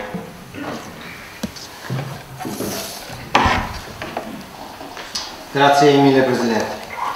Sono stato sollecitato, non volevo intervenire, però sono stato sollecitato dal consigliere Masiero sul debito fuori bilancio. Ah, che poi sinceramente... Posso chiedere, sì. posso chiedere scusa Presidente? Sì. No, consigliere. Eh, consigliere adesso, no, chiedo scusa, ma questo era il pezzo che aveva rivolto la domanda anche a me, era l'unico pezzo al quale non ho risposto sul tema, anche se non mi toccherebbe, il, il tema della, però dell'allocazione dell'importo a bilancio, fuori bilancio o nel bilancio di previsione, però avviene dopo che l'amministrazione ha riconosciuto il debito, perché fino a quando non lo riconosce non esiste la necessità di collocare, collocare la posta di bilancio. Ancora né Corsico né hanno riconosciuto il debito, eh, questa, per essere corretti dal punto di vista della contabilità della ragioneria e delle, delle, questioni contabili comunali. Cioè il comune di Corsico non è obbligato a mettere la posta a bilancio perché ancora non ha riconosciuto il debito. Ma il tema è proprio quello, la responsabilità eh, del riconoscimento. Eh, però, eh, questo però direi che la giunta di Corsico e chi governa Corsico oggi, non per fare difese politiche, però sono valutazioni che devono fare loro, non è che posso farle io. Questo, questo è, è, è, un discorso, è un discorso. Quindi viene fatta la posta a bilancio nel momento in cui viene riconosciuto il debito, se verrà riconosciuto. Allora, stavo dicendo. Prego. No, non date questa parola. Io ho chiuso. Grazie, Presidente. Allora, stavo dicendo, sono stato un po' sollecitato dal, dal consigliere Masero sul debito fuori bilancio e poi sinceramente io faccio veramente fatica, perché ogni volta che viene mi sconvolge sempre, sempre tutte le cose. Una volta la interpreto in un modo, una volta la interpreto in un altro, una volta la vedo un po' più aggressivo nei suoi discorsi, una volta la vedo un po' più pacato. Ho tante domande a cui non riesco a dare delle, delle risposte, penso abbastanza semplici probabilmente, sono io che forse eh, non riesco a capire. Vedo anche che si è spostato rispetto a quella che è stata un'audizione uh, un che fece eh, due anni fa eh, si è spostato un pochino l'argomento perché prima si cercavano di trovare le responsabilità di questa cosa, a oggi mi sembra che o è tutto chiaro a tutti o nessuno è interessato a questo argomento. Quindi per quanto riguarda il debito fuori bilancio, come giustamente lei stava dicendo poco fa, deve essere riconosciuto ed è responsabilità dei consiglieri comunali soprattutto quando il riconoscimento di un debito arriva da parte di un giudice, poi di approvarli in consiglio comunale, anche perché se no poi, se non vengono approvati, visto che eh, come tutti ben sappiamo non è che ci possiamo opporre, il debito fuori bilancio si porta per prassi perché la normativa è cambiata e quindi i consiglieri comunali ne devono prendere atto, punto. È una presa d'atto, va votato il consiglio comunale, ma è una presa d'atto. Però vediamo a noi, è il riconoscimento del. Allora lei sostiene che è tutto chiaro, ma io dichiaro sinceramente, no, nel riconoscimento del debito lei dice che non è la fattura, è il contratto, no, quello che riconosce il debito. Io posso stipulare un contratto, lei mi insegna con lei, e poi però non lo faccio. No? Io posso firmare un contratto, le dico che faccio una prestazione, qualsiasi cosa, poi io questa prestazione non la faccio, e quindi è vero che esiste un contratto, ma è anche vero che poi alla fine, eh, se non ho fatto il lavoro, non ho diritto a percepire dei soldi. Quindi solitamente, io non intendo il diritto, eh, mi, eh, Presidente mi perdoni, però solitamente uno sottoscrive un contratto, poi ci si aspetta che il lavoro venga fatto, al termine del lavoro si emette la fattura, che è il titolo di credito. Quindi mi devi dare dei soldi e mi paghi, secondo il discorso. Allora io dico, se c'è un contratto e il lavoro è stato fatto, perché questi soldi non sono stati pagati? Cioè le responsabilità di queste persone ci sono o non ci sono? È un atto, diciamo, dovuto, non dovuto, non so come spiegarmi, cioè io ho un'azienda privata, magari partecipata con un'altra azienda, le faccio una domanda, no, ripeto, io non, non mi intendo di queste cose. A un certo punto io svolgo dei lavori da una mia azienda a un'altra azienda. A un certo punto non ho i soldi per pagare. E quindi siccome l'azienda è sempre la mia, che poi anche qua non si capisce se è mia, se non è mia, è partecipata, non è partecipata, è onlus, non è onlus, dubbi atroci che ci sono stati per anni, contratti di comodato che non esistono, proprietà che non viene accertata, debiti mi risultano chiusi con perdite da 370 mila euro. Allora io sa tutta la stima che ho nei suoi confronti, capisco che lei sarà anche un mago insieme a tutto il suo team che ha portato qua stasera, però cioè, ci sono grosse differenze da quelli che sono i bilanci che c'erano a quelli che ci sono oggi. Perché? Semplicemente perché compravano le robe più care? No, non credo. Dove andavano a finire questi soldi? Com'è possibile che non sono stati pagati 200.000 euro e 140.000 euro e le società sono state chiuse in perdita di 370.000 euro? Allora il debito non era di 370.000 euro, perché se pagavano quei soldi, se prendevano quei soldi probabilmente non chiudevano con quelle perdite. Ho sentito parlare mi spiace che non è qui questa sera perché anche durante quella, quella, serata non è che aveva molto ben spiegato la motivazione per cui questi soldi non erano, non erano stati pagati. Se non ricordo male, non voglio sbagliare, l'ex sindaco disse che per problemi di bilanci, no, di patto di stabilità, mi perdoni, non, non, non avevano i soldi ma non potevano pagare chiedete alla contabilità che cosa c'entra la contabilità su una scelta prettamente politica, perché io credo che questa può essere solo una scelta politica, perché se io dico a una delle mie aziende che non ti pago, lo dico io, non lo dice il mio dipendente che prepara le fatture, no? Giusto Presidente? Cioè, di queste cose non ne stiamo parlando più, ce ne siamo dimenticati tutti. Le responsabilità. Perché non pagate? Ma perché devo pagare io? Presidente, ma perché sono i sindaci di oggi che si devono prendere questo impegno? Le pongo un'altra domanda, o meglio, sono le domande che mi faccio io, che probabilmente non si fa nessuno.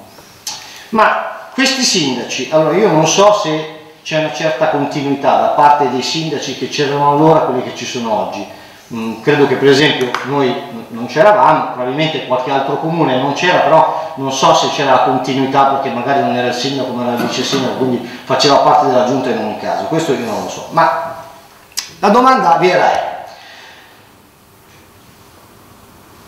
hanno deciso di non pagare, hanno fatto questo scritto, non voglio utilizzare un termine sbagliato, eh, mm, credo di, di, di, non dire illecito, non so se si può dire o no, non lo so, però diciamo sbagliato, tant'è che il direttore amministrativo li ha presi per le orecchie e gli ha tirato le orecchie, ha detto ma cosa state facendo? Ci dovete dare i soldi. E quindi hanno fatto qualcosa che probabilmente per avere le orecchie lunghe tirate dal direttore amministrativo hanno fatto una cosa che non si poteva fare. L'hanno sistemata, hanno pagato, vabbè, ho fatto una cosa da non fare, però ho pagato e ho risolto tutto. Poi vengono fuori altri 200.000 euro. Si ritrovano i segretari, se non ricordo male il segretario o chi si sono trovati, di tutti i comuni, dicono no, il ragionieri, mi perdoni, si ritrovano tutti i ragionieri dei comuni e dicono no, il debito non esiste. Questi soldi non bisogna pagarli. Adesso ci sono dei comuni che cambiano idea e pagano. Allora io ogni tanto mi ci metto nelle palle del sindaco, no? faccio fatica perché si fa fatica per il sindaco, è un lavoro facile. Eh?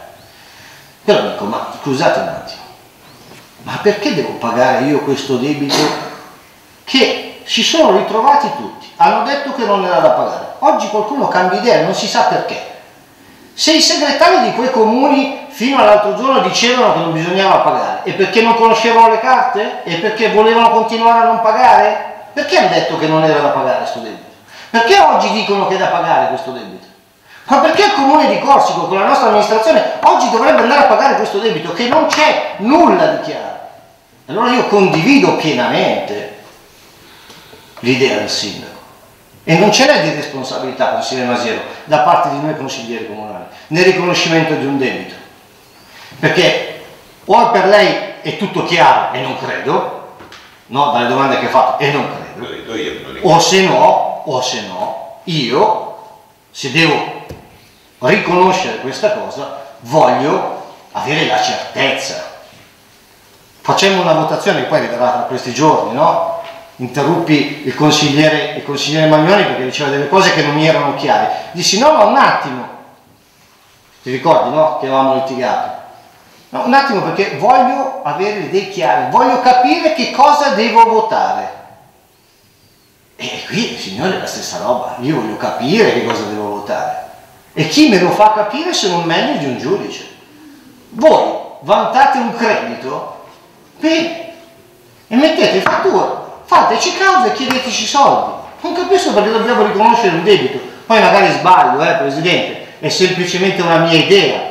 Cioè se dovessi riconoscere io questo debito, se mi permette, vorrei averne la certezza, ma vorrei avere anche un'altra certezza. Non solo quella di pagare, ma che qualcuno paghi. Non solo devo pagare io, ma che qualcun altro paghi. Era un errore, un semplice errore, si poteva fare? È una roba che si può fare. Cioè io ho una società partecipata o non partecipata con una società dove comando sempre io. Non ho i soldi per pagare e gli dico quello, non mi emettere la fattura perché non ti pago. È una roba che legalmente si può fare? Qualcuno se l'è chiesto? Ve lo siete chiesto voi? Era un atto legittimo? Il comune probabilmente funziona in maniera diversa da una società privata, no? Si possono fare tante cose per esempio con i comuni che i privati non possono fare. Chiedo a lei se lo sa, io non lo so. Si poteva fare questa cosa? Perché? Perché il direttore amministrativo gli ha tirato gli orecchi e gli ha fatto pagare 140.000 euro? Perché gli hanno pagati 240.000 euro? Perché 200.000 euro poi successivamente vengono fuori che dicono che non bisogna pagare e poi così cambiano idea e pagano questi soldi? È tutto chiaro? Io sinceramente di riconoscere un debito in queste condizioni, se dovessi essere il sindaco, avrei delle grosse difficoltà.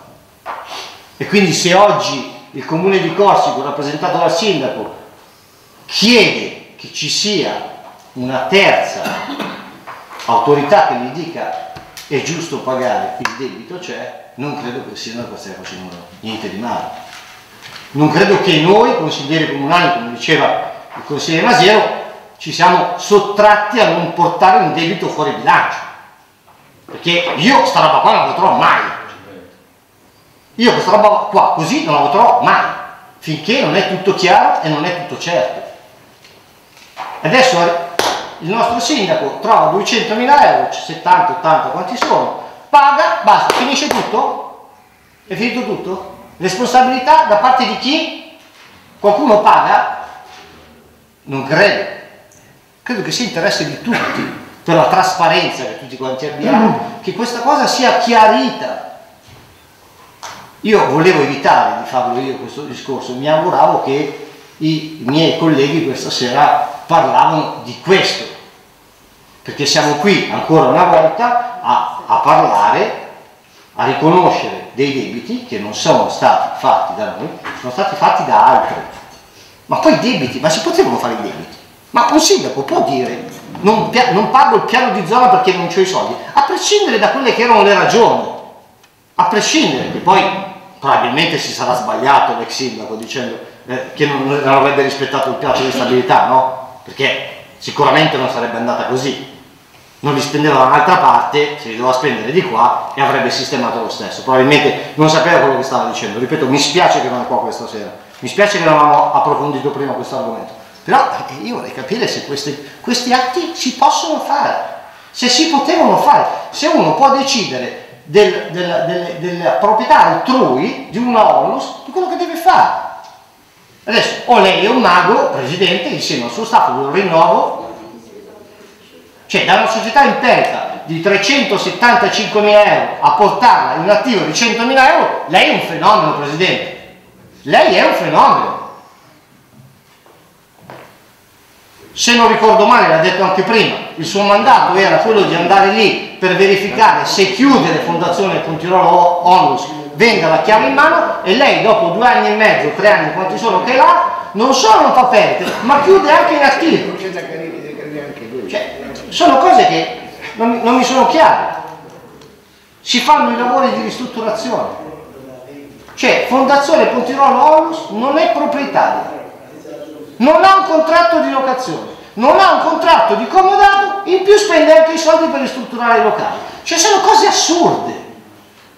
Sono cose assurde, probabilmente sono io che, che non riesco a entrare in questa ottica, faccio fatica a entrare in questa ottica. Però secondo me c'è qualcosa che non funziona.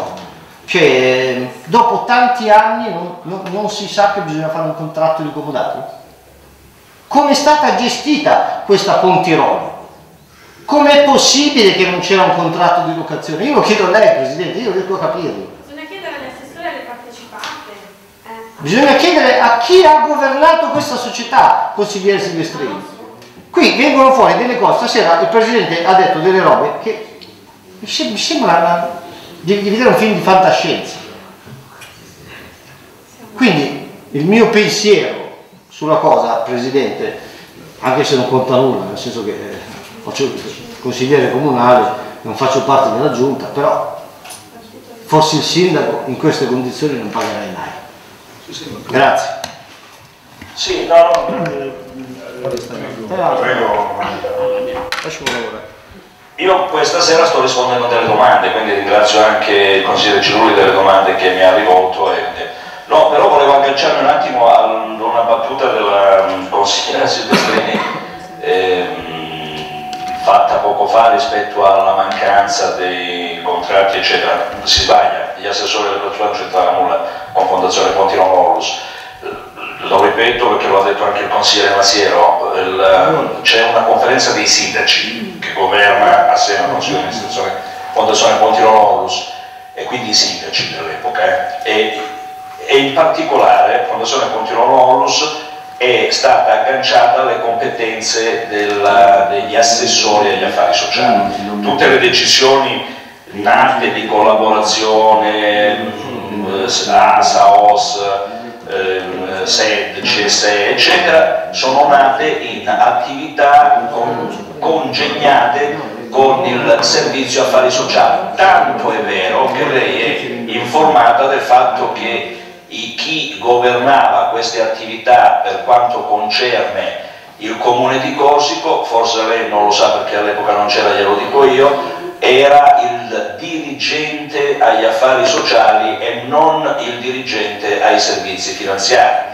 Se lei, essendo oggi consigliera comunale, proverà ad interpellare l'attuale responsabile dei servizi finanziari, risponderà a lei quello che ha risposto a noi ogni volta che gli stiamo chiedendo informazioni rispetto agli affari di Fondazione Pontirolo Orlus, ossia che non ne sa nulla e che si limitava ad onorare i pagamenti che dall'ufficio affari sociali arrivavano come richiesta di emissione di mandato all'ufficio affari finanziari. Quindi la sua affermazione è completamente destituita di fondamento. Allora, il, il, il se, a me sembra di essere stato chiaro, io forse stasera sto parlando con calma, questo è vero, però negli, nelle argomentazioni non mi sembra di aver omesso nulla. Ad una prima domanda della, della consigliera Silvestrini, ho detto chiaramente che non ci si capisce nulla di quella situazione, ecco perché ci sono comuni come il comune di Corsico che oggettivamente ha necessità di comprendere quello che è successo. Ribadisco il concetto, perché l'ho detto e lo ribadisco ancora, parlando sempre con calma, ma tanto i fatti quelli sono. Noi ancora oggi non siamo riusciti ad ottenere alla data odierna eh, riscontri e documentazioni relative alle, a meno che non siano arrivate io non lo so, alle contabilità Pontirolo, piani di zona di quegli anni, cioè non le abbiamo, non le abbiamo mai avute, se non sono arrivate suppongo, non voglio essere denunciato, ma siccome non sono mai arrivati è perché probabilmente o non ci sono, o allora ci sono e qualcuno allora non ce le manda, questo è un, è un ragionamento, quindi ho detto con molta chiarezza, io comprendo benissimo la posizione dei comuni che hanno una ferma posizione rispetto a quello che dichiarano, cioè quello di avere una, uh, come dire, un appiglio legale per poter effettuare i pagamenti che noi stiamo reclamando. E certo però, Presidente, che io non posso scandalizzarmi e né prenderlo come eh, fatto negativo che alcuni comuni decidono di pagare Fondazione Pontirololus, io non posso che prenderlo come una notizia positiva, per cui non posso pretendere che tutti siano sulla stessa linea. Io capisco però chi agisce come sta, chi ragiona, eh, come sta ragionando il comune di Corsico, quindi il sindaco di Corsico. Io quello che volevo segnalare è che il linguaggio che è stato usato, riportato dal consigliere Masiero, non rappresenta uno scontro tra me e il sindaco. Su certi argomenti c'è una sintonia, io capisco la necessità di capire che cosa è successo davvero in quegli anni, perché il, Presidente, da consigliere mi chiede, ma era tutto regolare? Beh, se noi stiamo reclamando i soldi, evidentemente eh, no. Se eh, nel 2013 l'amministrazione comunale corsichese decide di restituire 145 mila euro a Fondazione Ponti Rollos, quindi di pagarli finalmente, beh, anche lì è una dimostrazione che io riconosco di aver fatto qualcosa che non andava fatto perché altrimenti già allora direi no, io i 145 mila euro non te li do. Perché, guardate bene, è successa una cosa estremamente precisa. In quel caso il direttore amministrativo vede la delibera, perché in quel caso c'è stata una delibera, perché la pretese, come ricorderete, il direttore amministrativo dell'epoca, una delibera del Consiglio di amministrazione di Fondazione Ponti Rolorus, non semplicemente votata, ma sottoscritta, la documentazione chi l'ha richiesta ce l'ha. Quindi il direttore amministrativo ha revocato con un atto preciso del nuovo consiglio di amministrazione dell'epoca quella delibera e ha preteso la restituzione dei 145 mila euro. Se chi amministrava all'epoca ha ragione il consigliere Cirulli, ha restituito quei soldi, ma l'ho sottolineato anche io nel mio intervento iniziale, vuol dire che è stato riconosciuto che l'atto di finanziamento, perché così è stato definito, non da me, se avete letto le carte, non è che abbia detto io, anche per l'anno 2011, anche per l'anno 2011 chiediamo un finanziamento ai piani di zona a Fondazione Pontirolo fatto in che modo? Non mi dai i soldi, sono io che non ti pago 145 mila euro e mi rimangono, mi rimangono in cassa. Non l'ho detto io, eh l'ha detto chi ha preso quelle decisioni in quell'epoca.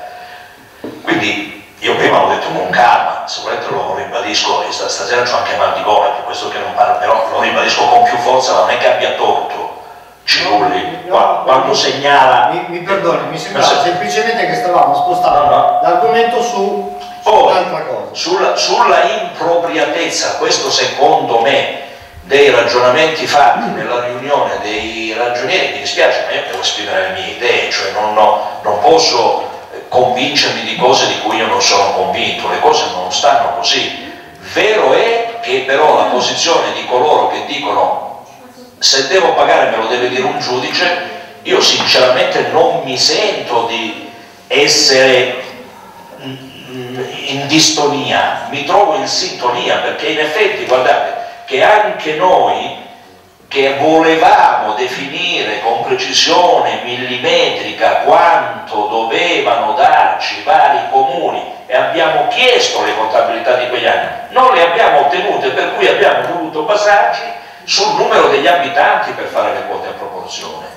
Quindi anche questo fa parte di un accordo. Ma è corretto così? No, perché in realtà i vari comuni avrebbero dovuto darci le quote dei servizi effettivamente eh, erogati ai singoli comuni. Per... È vero che non cambia di molto, poi alla fine avremmo trovato delle differenze di qualche migliaio di euro. È non è che- stata avallata comunque. Sì, sì, comunque no, no, non lo sto mettendo in discussione No, questo. perché se no Io- sembrerebbe un calcolo Peso, no. peso, peso. è stato, è stato avallato il discorso, il tema è, il tema è, il tema è che non è stato, il tema centrale è che non è stato possibile ottenere in Fondazione Ponti Rolorus, tutto sommato ne avremmo avuto anche diritto, le contabilità di quegli anni rispetto a queste cose qui, non, non ci siamo riusciti.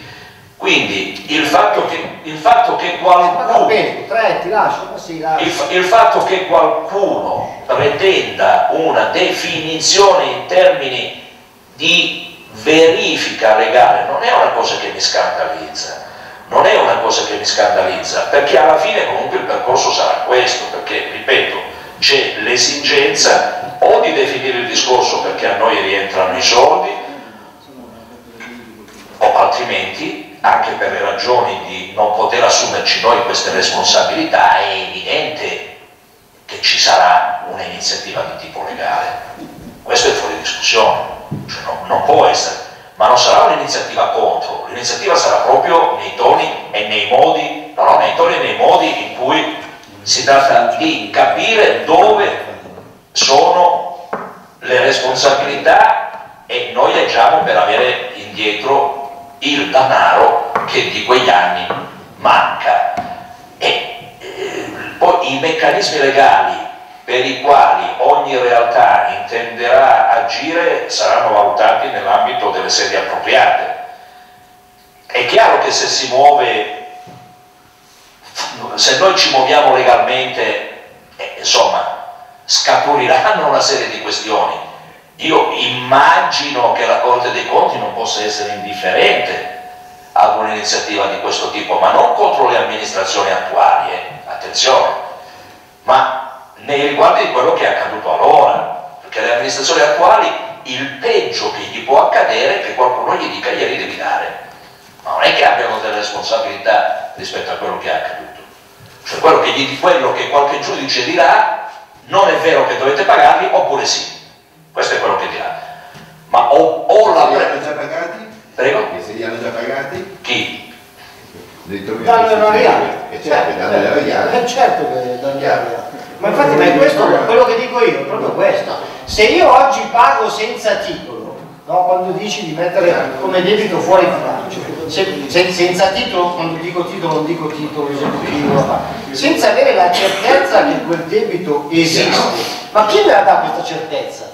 Se ci sono, se è così incasinata, quando dici, vabbè, la certezza che te la dà, prima era certo che non bisognava pagare, e i comuni non l'hanno mai pagato. Ci sono incontrati i segretari, i ragionieri, i ragionieri, se mi dicevo con te stasera. ci sono incontrati i ragionieri, i ragionieri hanno ragionato che non era da pagare. Successivamente i ragionieri hanno ragionato in modo diverso, dice no, probabilmente c'è da pagare. Beh, allora, beh, vabbè, allora paghiamo, dai, paghiamo. Adesso non so se hanno fatto una transazione, che cosa? Pagano un tot al chilo, pagano. Poi un domani viene fuori, viene fuori qualcuno, dei Conti dice lei ha pagato 10.200 euro, non, non è differenza di poche centinaia di euro, perché le ricordo Presidente, il danno erariale c'è anche per 3.000 euro. Quindi io le riconosco 100 piuttosto che 150, piuttosto che 120, non era l'importo giu- giusto danno erariale, lei mi insegna che c'è sempre. Determinato questo che sono problemi degli altri e non sono problemi nostri che la linea è diversa, credo che sia legittimo richiedere che ci sia un giudice, un avvocato no, un giudice che dica, guarda, analizzate le pratiche, viste le cose, c'è da pagare, bella sentenza di responsabilità probabilmente nei confronti di qualcuno, se ci dovrà essere ci sarà, se diranno che era tutto normale, che nei comuni si possono fare questa cosa, sarà tutto normale, ben per loro e il comune paga, saranno tutti, tutti sereni, tutti tranquilli, che mai nessuno sarà accusato di danno erariale. Questo era quello che stavo facendo fatica prima, ma volevo dire. Finisco. No, ecco, il... No, sta- stavo finendo, un solo secondo. Il... eh, per- scusate ma ho perso il filo. Allora, ribadisco, la nostra posizione è chiara, c'era un contratto, il servizio è stato effettuato, il 2010 non è stato pagato, c'è l'episodio del 2011 che dire, certifica il fatto del riconoscimento dell'epoca di queste situazioni non, non appropriate e eh, questo, questo è. Abbiamo discusso sul titolo giuridico, titolo esecutivo, secondo me c'è molta confusione attorno a questo tema. Ribadisco il discorso, ribadisco il discorso che i comuni che hanno deciso di pagare lo hanno fatto in base a delle loro valutazioni e decisioni che, attenzione, bisogna anche qui essere trasparenti, ciò che è stato rappresentato però nella famosa riunione dei, dei ragionieri non rappresentava assolutamente tutto il clima che su questa vicenda c'è sempre stato nella conferenza dei sindaci. Eh, perché dobbiamo- questo dobbiamo ricordarlo, perché non è così, eh, perché nella conferenza dei sindaci, bene o male, le posizioni dei sindaci sono sempre state più o meno queste e che sono rappresentate oggi dalle decisioni che sono state assunte. Concludo questo pezzo dicendo, e lo ripeto, non mi scandalizza e né mi pone in situazione di contrapposizione la posizione del sindaco errante, nella maniera più assoluta, perché è una, secondo me, delle strade per arrivare al risultato, a- a- ai risultati, agli obiettivi che noi abbiamo, che sono quello di recuperare i soldi. La- l'altro caso è il fatto che non può essere il condizionato. Allora, visto il ragionamento che non può decidere quello, non può decidere quell'altro, non può decidere quell'altro, non vi aspetterete mica che rispetto ad una situazione del genere a decidere di non agire sia il CDA di Fondazione Ponti Rologgi. Questo non può essere perché qui c'è un signore che fa il presidente del collegio dei revisori, il quale dice ufficialmente al CDA o agisci se no agisco io, ma contro di te Magisero, anche. Quindi cioè, non, è, che qualcuno si può aspettare che il problema lo risolve il CDA di Fondazione Ponti Rologgi, non è possibile. Quindi il fatto che ci sia la possibilità di venire alle decisioni dei giudici, che ribadisco è chiaro, poi andranno anche ad individuare le responsabilità dove stanno, ma non quelle di oggi, eh, quelle di allora, questo è il tema. Quindi non è che mi trova in contrapposizione, è evidente che egoisticamente dal punto di vista di Fondazione Pontirolorus, se tutto si risolve in maniera diversa, perché noi dovremmo valutare negativamente questo? Lo valuteremo, lo valuteremo positivamente. Però lo dico e lo affermo con forza, la posizione di chi desi- di chi la posizione di chi è sulla- sul percorso di tipo procedurale legale a me non mi scandalizza. Quelle azioni non secondo noi non erano azioni che potevano essere fatte e non potevano essere fatte nel modo in cui sono state fatte. Grazie Presidente, scusate, io vi ho visto così, tanto parlate tutti, eh, Valastro, Girardi, Riggio, Magnoni, scusatemi, prego consigliere Valastro, anzi, commissario Valastro, commissario Valastro prego, Grazie Presidente. microfono. Giustamente lei ha detto che l'intervento del consigliere Masiero ha determinato un suo intervento. Ed è vero, ed è stato anche bravo. Però il suo intervento Mi ha ha determinato il mio intervento. E allora, a lei gli do una risposta, al Presidente Maggisano una domanda e i complimenti al Presidente del Collegio dei Revisori. Mi spiego. La domanda, prima la domanda al Presidente Maggisano. A che titolo la conferenza dei sindaci e che potere avevano la conferenza dei sindaci per stabilire di non pagare quei soldi? Perché mi risulta che c'è un consiglio d'amministrazione, lei ha detto il CDA, no? Mi risulta che c'è un collegio di revisori, o no? Visto e considerato, no? Ora, il perché i sindaci decidono e il consiglio d'amministrazione avalla e nel tempo stesso avalla anche il collegio dei revisori. Cosa che lei, giustamente adesso, che cosa ha rimarcato? Adesso c'è il presidente, mi scusi presidente, come si chiama? Traviglia. Come? Traviglia. Traviglia? Ecco, cioè in modo così di ricordare. Il presidente, il dottor Traviglia dice no, qua dovete pagare. No? Il perché gli altri non l'hanno fatto? Il perché il consiglio d'amministrazione non ha reagito? E il perché voi non denunciate? La risposta poi al presidente Cirulli, il consiglio comunale, presidente Cirulli, il consiglio comunale, presidente Cirulli, non prende atto del debito fuori bilancio. Perché se il debito fuori bilancio non rispecchia, perché io non avallo un debito fuori bilancio eh, perché qualcuno ha fatto una stronzata, mi, scusa, scu, mi scusi il termine.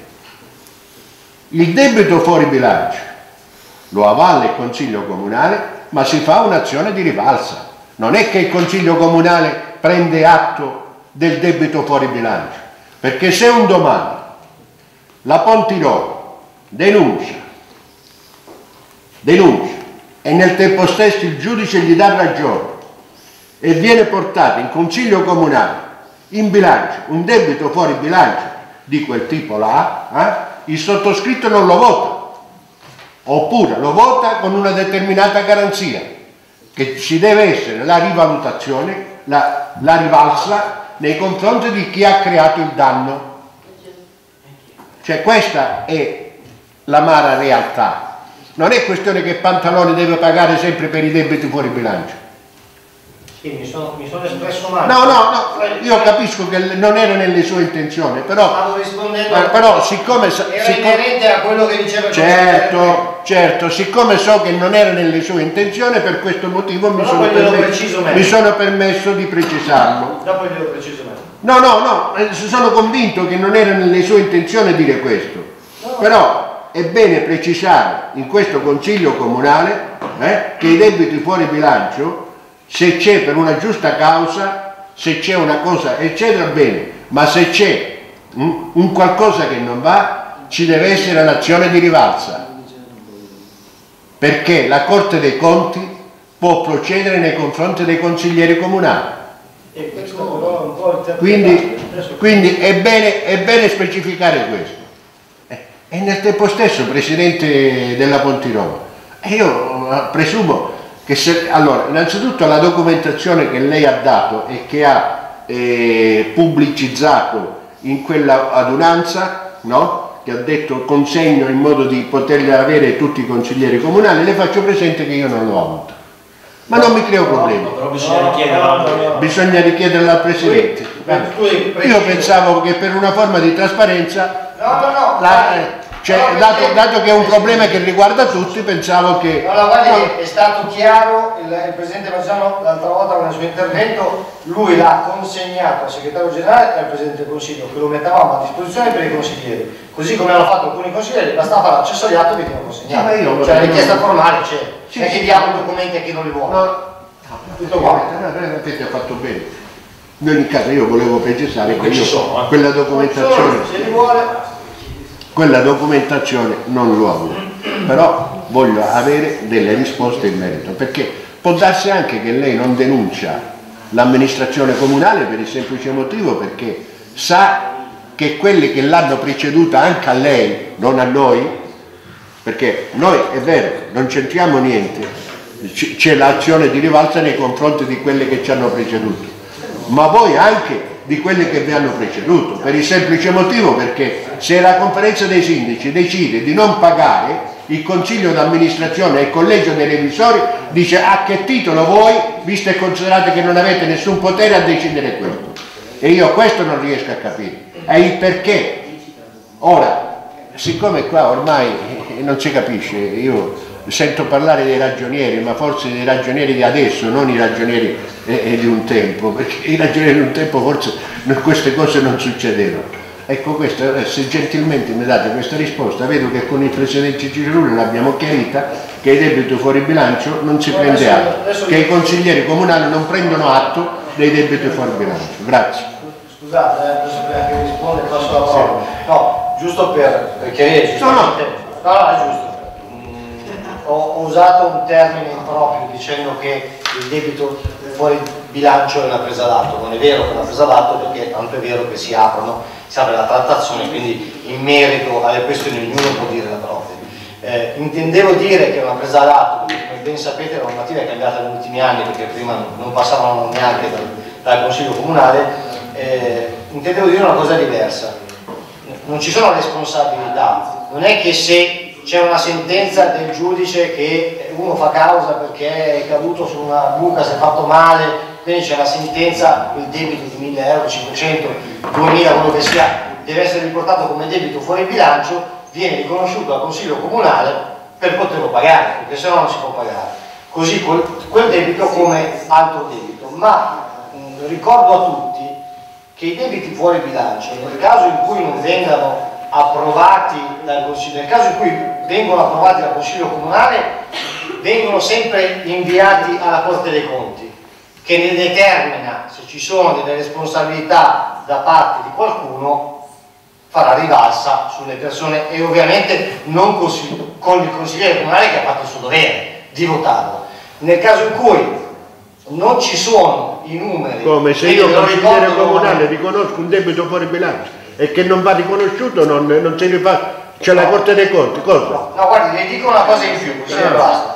Le dico una cosa in più. Fa- facciamo, finta che, facciamo finta che ci sia un debito fuori bilancio non riconosciuto dal Consiglio Comunale per due o tre volte. Arriva nel comune un commissario ad acta per approvare quel bilancio, che poi verrà mandato sempre alla Corte dei Conti, faranno le verifiche. Questo glielo posso garantire. Se lo volete scoprire non ci vuole tanto per poterlo scoprire, eh? perché ci abbiamo il prossimo consiglio comunale. quindi- eh. Prego, consigliere Girardi. Devo rispondere a Balastro. Giusto. Prego, Presidente Balastro, le rispondo. Prego, Presidente. Il Presidente Magistrano lo ascolto sempre con piacere. La, la domanda era se la, la conferenza dei sindaci poteva assumere quella decisione. No. E poi? Poi? E il Consiglio d'amministrazione di Né l'uno e nell'altro potevano accettare una decisione di questo genere il Consiglio d'amministrazione. e neanche il collegio dei revisori. Non avrebbero voluto fare passare là. Può darsi che il nostro sindaco procede anche per questo motivo. E può darsi anche che voglio denunciare per questo motivo. Il dato di fatto è questo. A fronte di una convenzione di servizi regolarmente erogati, non sono stati emessi i relativi pagamenti. Per i motivi, mm, se leggete le carte lo potete ben capire. Fatto sta che è un debito che il piano di zona, quindi i comuni, hanno nei confronti della Fondazione Pontirolo per i servizi che sono stati erogati. Di sono convinto. pertanto Fondazione Pontirolo non può non agire. che mi si dica poi che siccome non c'è la fattura non si paga, il titolo giuridico è il contratto, rispondo alla Presidente Cerulli, è vero, io posso fare un contratto e non erogare la prestazione dei servizi, ma se ho fatto un contratto e ho erogato i servizi, questi servizi mi devono essere pagati.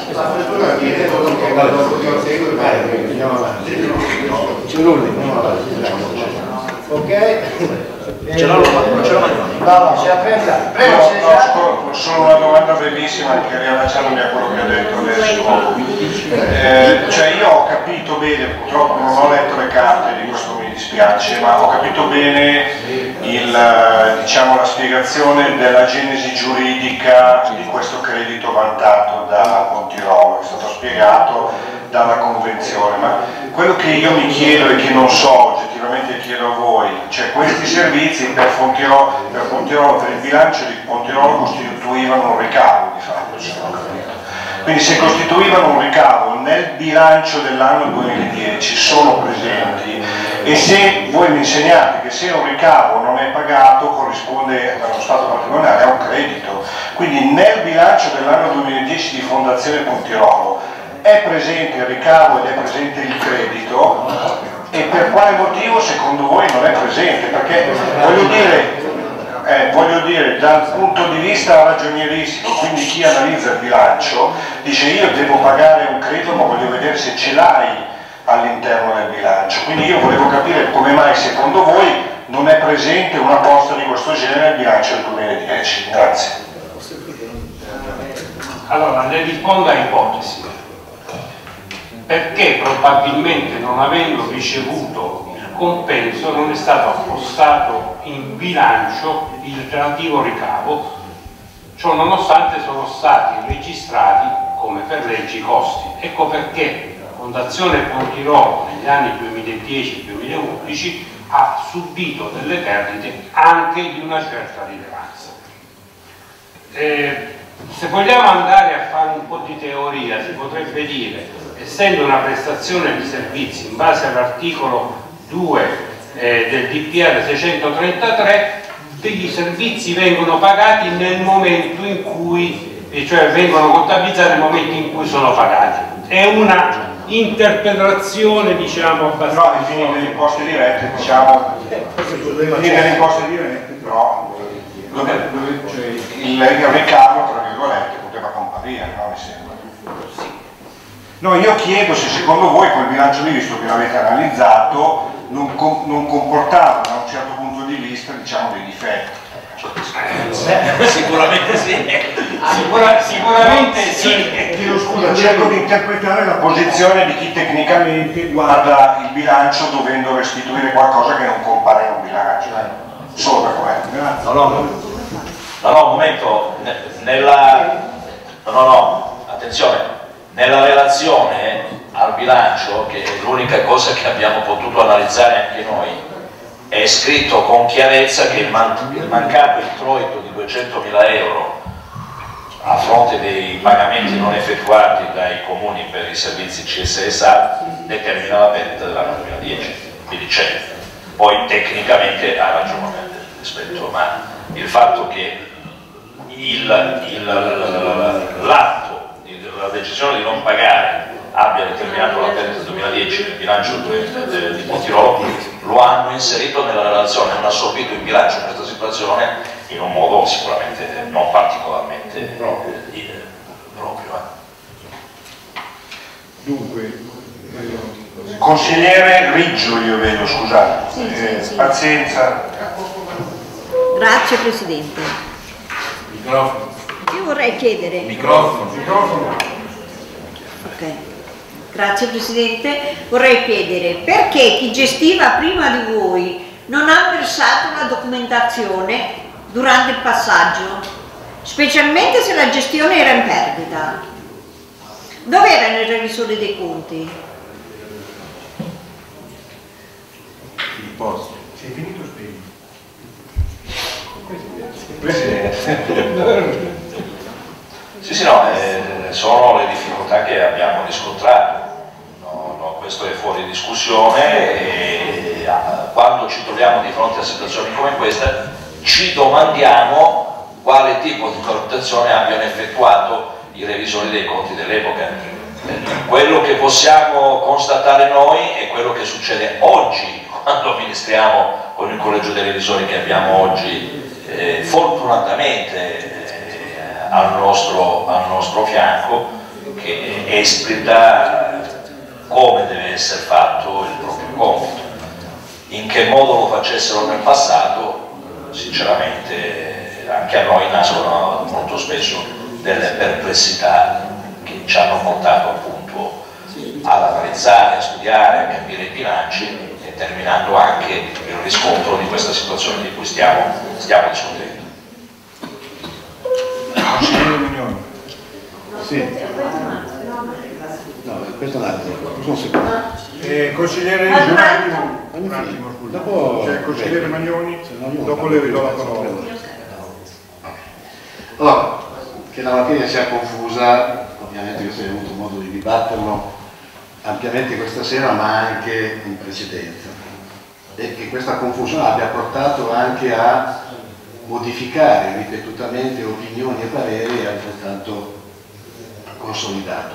Perlomeno, io ho, letto con molta cura questo documento dell'Avvocato Ferrario, che ho ottenuto attraverso un accesso agli atti, che è una ricostruzione, quindi un parere ponderato di quanto è accaduto e cronologicamente mette giù una serie di appuntamenti, di operazioni, cita documenti, verbali, È giusto per dare un'idea di, cosa, eh, di come si è comportato anche il nostro comune, in qualche modo per rendere anche più evidenti le difficoltà, vi posso dire che nella seduta del 14 settembre 2017, quindi poco prima che incontrammo il Presidente Magginano lo scorso ottobre, la conferenza dei sindaci della Fondazione Pontirolo, quindi anche il nostro sindaco, tutti i rappresentanti, escluso il sindaco Gianno Foscone, dichiaravano la loro disponibilità a prevedere la restituzione degli oneri dell'anno 2010 non ancora versati invitavano la Fondazione a prendere contatti con i dirigenti, eccetera, eccetera.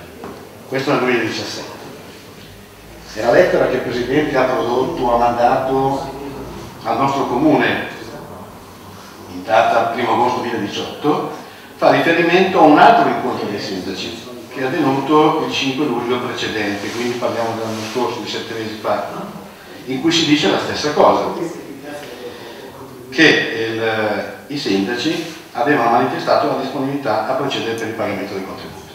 Quindi insomma, anche qui vedete che la situazione è proprio chiarissima e così, eh, così trasparente.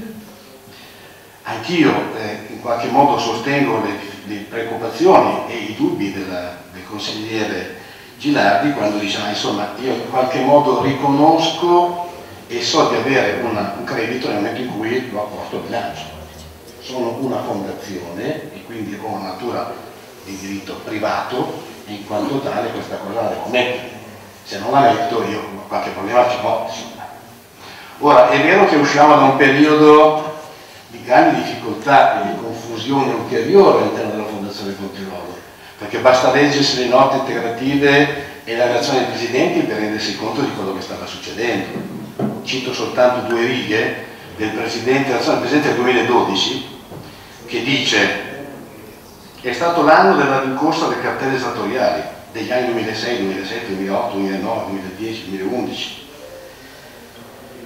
a giugno 2012 addirittura l'AS sospende e interrompe il contributo mensile per irregolarità nel DURC, quindi contributi.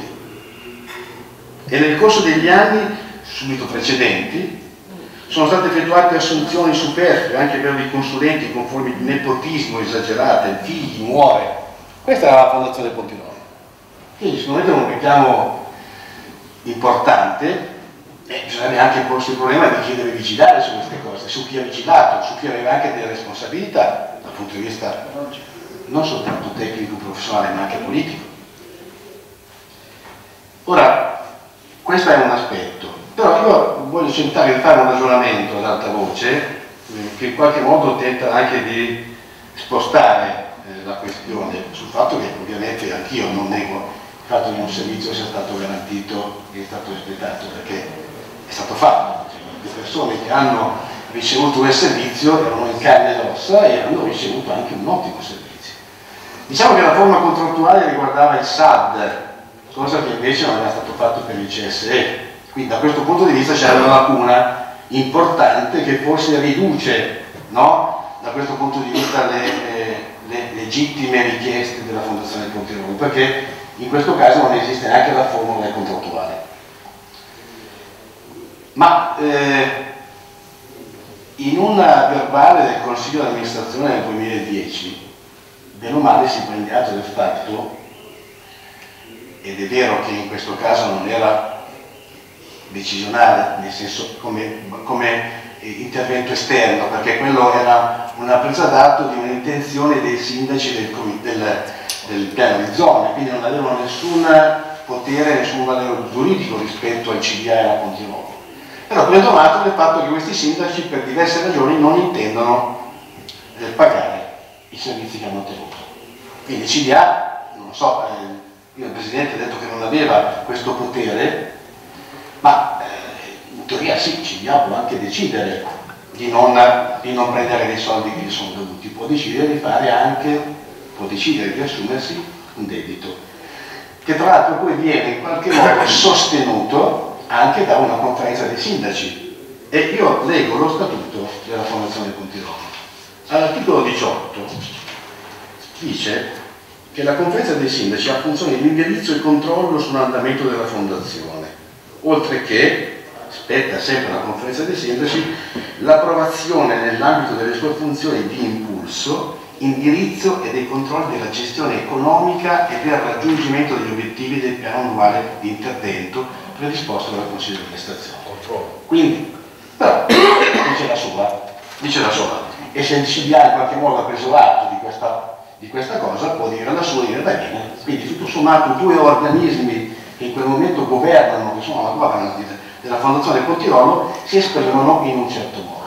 Non compare negli anni successivi questo credito all'interno dei bilanci, non c'è traccia, quindi tutto sommato fa presumere che qualcuno abbia accettato questa soluzione. Sempre nello statuto, diceva, ma forse il Pontirolo poteva fare questa cosa o non poteva farla? Nello statuto sempre si dice all'articolo 3 che sono gli scopi istituzionali che la fondazione opera nei settori della beneficenza, dell'assistenza sociale e sanitaria e della formazione. La Fondazione ha per scopo di provvedere con le rendite del proprio patrimonio destinate, destinate dal lato di fondazione con quelle che potessero comunque altrimenti pervenirle all'offerta di servizi assistenziali e sociosanitari direttamente o indirettamente a favore delle persone anziane che si trovano in uno stato di bisogno e siano residenti in Lombardia. Dice ancora che la Fondazione può offrire servizi nel campo sociale, sanitario e sociosanitario a favore dei minori in stato di disagio, delle persone di qualunque età affette da disabilità psicofisica, CSE, residenti nei comuni fondatori e stipulare convenzioni con ciascun comune. Quindi nella mission della, della fondazione c'è anche il fatto che si possa far carico di questi servizi e vuol dire che se ne fa carico non soltanto nella forma convenzionata che poi tra l'altro è prevista quella della legge 328-2000 che è quella dei piani di zona, quindi come capofila piuttosto che come governance diretta, ma anche come intervento proprio. Quindi io inviterei anche a ragionare e a riflettere su questa cosa, che tra l'altro è prevista e che non esclude a priori quell'altra, insomma, nel senso che volendo la possibilità e il potere per attuare quello che è stato fatto c'era. Sempre in questo, in questo rendiconto, provveditate, eccetera, a un certo punto c'è anche la, una conclusione che, a cui giunge l'avvocato. È vero che il provveditate non è legge ovviamente, questo poi spetta al giudice esprimere un'opinione un definitiva attraverso una sentenza e neanche in un caso solo, quindi figuriamoci. Però dice che per le stesse considerazioni si ritiene che possano essere chiamati a rispondere del danno occorso alla Fondazione, oltre che il direttore amministrativo, anche il revisore dei conti su cui grava, grava il specifico compito di vigilare sulla corretta gestione. Quindi anche questo credo, eh, ricostruzione del nostro Presidente in qualche modo chiama in causa gli amministratori locali, cioè i sindaci dell'epoca del 2010 in modo particolare, trova anche qui, se questa cosa ha una valenza e chiaramente ha qualche capacità di espressione giuridica maggiore rispetto a quella che posso avere io e sempre inferiore a quella del nostro Presidente, dice chiaramente una cosa un pochettino diversa. Io volevo anche sapere se, ed è una cosa che ho venuto in mente ascoltando anche quello che è stato detto, in quel bilancio del 2010 del Comune di Corsico,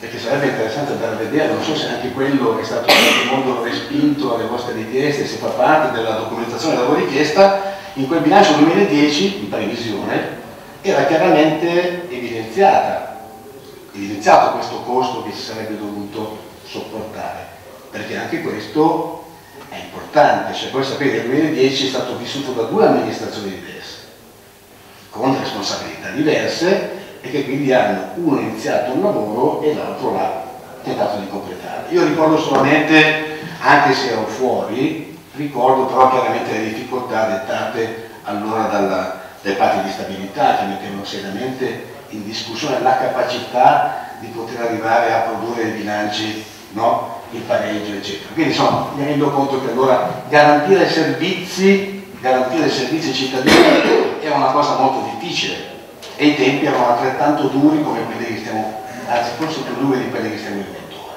Quindi questa difficoltà era evidente. E il fatto che abbiamo trovato un escamotage che probabilmente non si regge sulle sue gambe, ma che però in qualche modo aveva delle ragioni, perché altrimenti stiamo quasi pensando che qui no, questi soldi chissà dove sono andati a finire. I soldi sono stati spesi per garantire un servizio ai cittadini. Okay. Poi ci sono due, due enti uno pubblico e uno giuridicamente di natura privata che rivendicano, eccetera, però insomma capiamoci, capiamoci quello che è accaduto, non sono stati mal spesi, a parte quello che ho detto prima in relazione al 2012, che è un'altra cosa. Davvero che poi, adesso non ve lo leggo tutto, ma poi mi pare di capire che c'è stato un giro di vita anche sulle carte di credito, viaggi, ristoranti, note spese, era un pochettino pazza la situazione, non, non proprio sotto controllo. Quindi io butto lì anche quest'altra riflessione, sono curiosissimo di sapere come il comune di Bucinato, tra l'altro governato da Enrico Rio Bruiti, piuttosto che gli altri che stanno sempre disponendo questi atti, abbiano potuto superare questa cosa.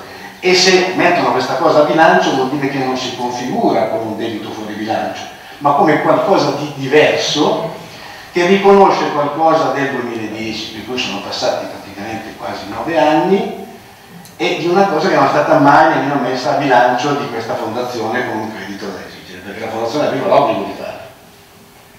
Aveva l'obbligo di fare. Un'ultima cosa, Presidente,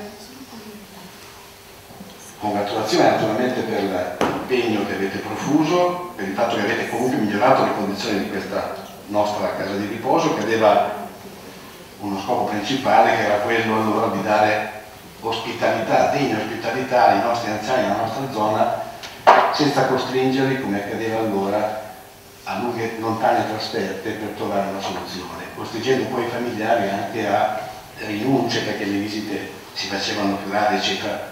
Invece con questa possibilità di averli vicino, di mantenere unite le famiglie anche in quelle condizioni di difficoltà. Questo era uno dei...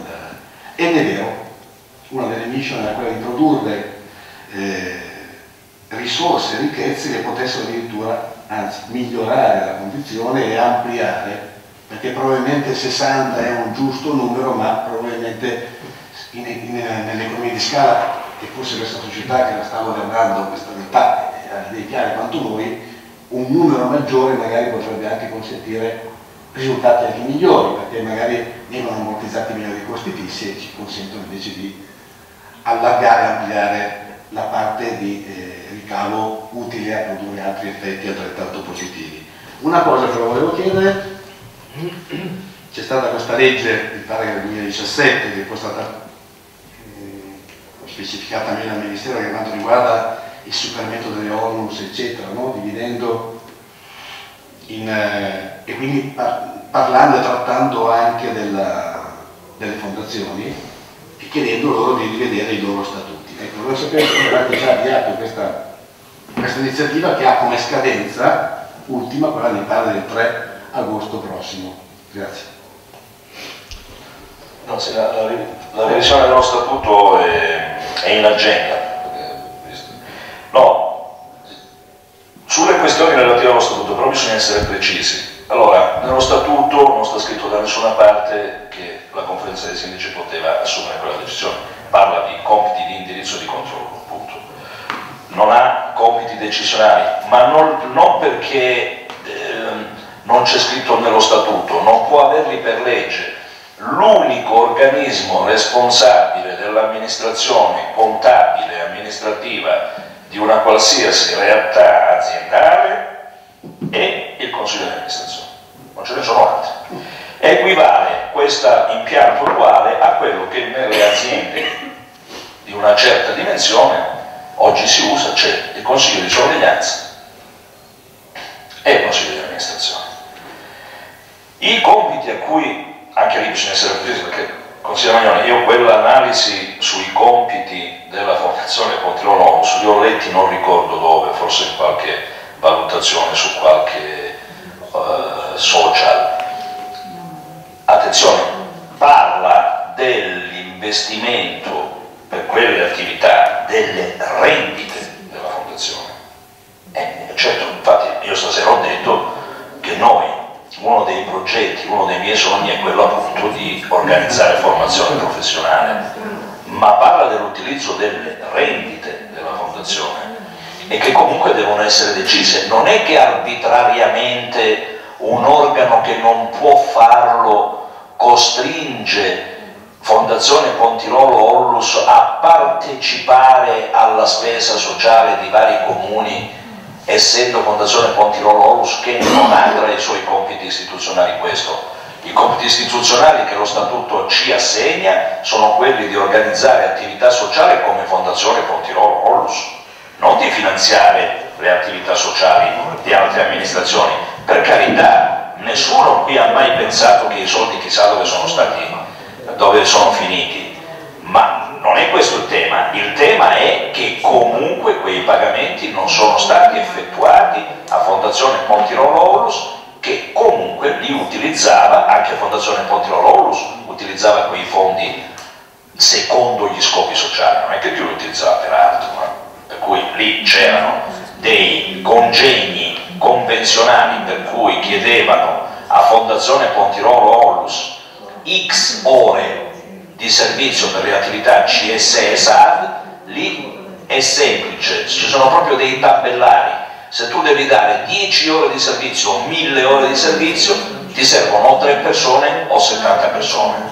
Cioè, è, è semplice, pura matematica, non si sfugge. Quindi i soldi che entravano in Fondazione Pontirolo Onso venivano utilizzati per gli scopi sociali.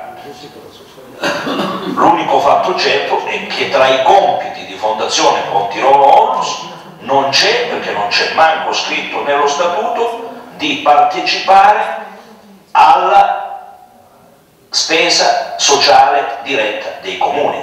D'altronde l'attività quella è stata, ma per carità nessuno discute le finalità, problema è se poteva essere fatto o no, perché c'è scritto nelle carte, si parla di finanziamento ai piani di zona, il contrario, consigliere Magnoni, ma di cosa stiamo parlando? Cioè io devo essere pagato per un servizio e tu chiedi a me di finanziare io al contrario i piani di zona? Non l'ho detto io, eh? è scritto nei documenti, io spero che voi me li siate fatti dare. Le ricordo peraltro, se li avete letti, per essere completi però, che nella delibera del 2011 del Consiglio di amministrazione, quella dove viene approvato l'ennesimo finanziamento di 145 mila euro, il Consiglio di amministrazione ha dato ufficialmente mandato al direttore amministrativo di recuperare i 145 mila euro, di trovare il modo di recuperare quei 145 mila euro nel, nel futuro e anche i 200 mila euro del 2010. Quindi nell'informazione che tutti noi dobbiamo analizzare, dobbiamo tener conto solo di tutto quello che c'è in quelle carte. Eh. Non che lei lo abbia fatto, ma se ognuno di noi legge il pezzetto che in qualche motivo gli quadra di più per qualche motivo, non arriviamo ad una soluzione. eh. Cioè, o lo leggiamo nel suo complesso, e lì quello che ha detto lui è tutto vero, dalla A alla Z.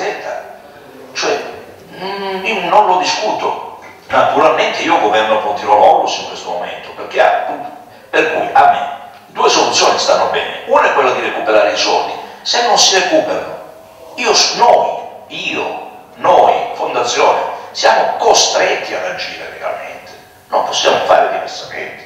Ma lo scontro non è con l'amministrazione di oggi perché un sindaco è più o meno simpatico rispetto all'altro. Oggi sono dei sindaci pro tempore e i problemi non li hanno creati loro. Questo è fuori discussione, non è che possiamo addossare delle responsabilità rispetto a quello che è accaduto nel 2010 alle amministrazioni attuali, ma sono gli amministratori pro tempore con i quali noi obbligatoriamente dobbiamo ragionare, non abbiamo altre possibilità. E le strade sono due, o c'è la soluzione o la soluzione la trova un terzo.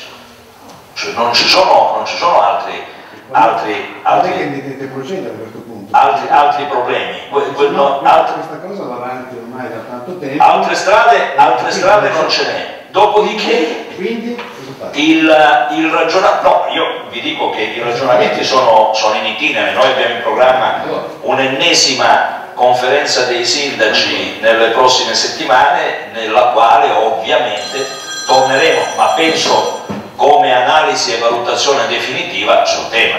Quindi ci sarà una scadenza che è stata posta per decidere il da farsi e come andare avanti su queste questioni. Va definita, questo è fuori discussione, perché ripeto, i temi, i temi sono due, uno è quello di, che se rientrano i soldi siamo tutti contenti, ma l'altro sono le responsabilità del CDA no, e non ultimo è quello del collegio dei revisori che diversamente da quello precedente dell'epoca mi dice se non agisci tu agisco io ma anche contro di voi, perché questo è il mio compito. Quindi non abbiamo via di uscita, eh? cioè noi siamo in siamo in un binario obbligato, non abbiamo possibilità di fare diversamente.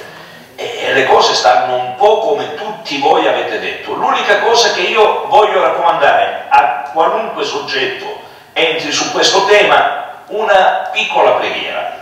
La documentazione però, leggetela tutta.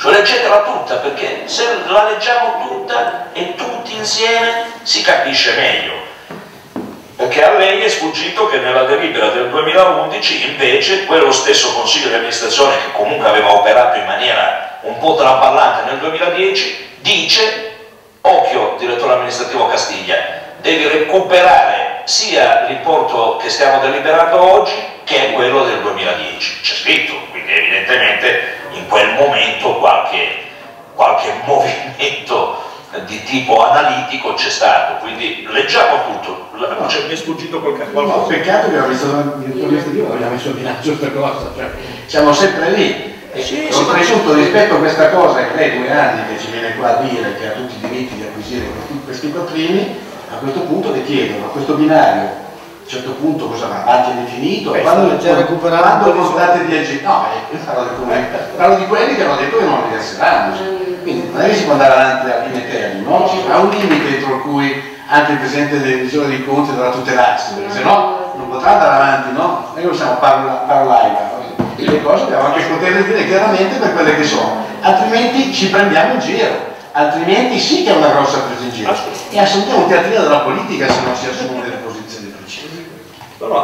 A- assolutamente, ma per noi, ripeto, noi che non è che no- noi non facciamo confronto politico, noi lì lavoriamo, per cui la, la la la situazione è siamo alla scadenza, non si può prorogare ulteriormente qualsiasi atto o gesto amministrativo che non sia quello della- di un accordo o di una valutazione di percorrere le strade legali, che ripeto, questo lo voglio ribadire, anche perché parliamo, apro una breve e semplice parentesi per dire che nel Consiglio di amministrazione in carica si è mai confrontato in termini di differenziazione o differenze politiche e né i confronti con i sindaci che confluiscono nella conferenza dei sindaci sono mai stati affrontati in termini di differenze politiche, tant'è vero che le due realtà che hanno dubbi sulla situazione sono amministrate in modo diverso, quindi non è un problema di tipo politico,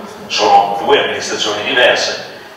Noi con queste amministrazioni, anche con queste che hanno delle opinioni diverse, intendiamo percorrere un, un, uh, una decisione che non sia di contrapposizione tra di noi, eh, ma una, una, una posizione, una decisione che, che, sia quella che è, eh, fermo restando che ci riferiamo a responsabilità che non sono quella delle amministrazioni vigenti, questo è fuori discussione. Scusi Presidente, vorrei aggiungere una cosa. Quando lei dice il Consiglio di amministrazione poteva assumersi il debito, io le dico no.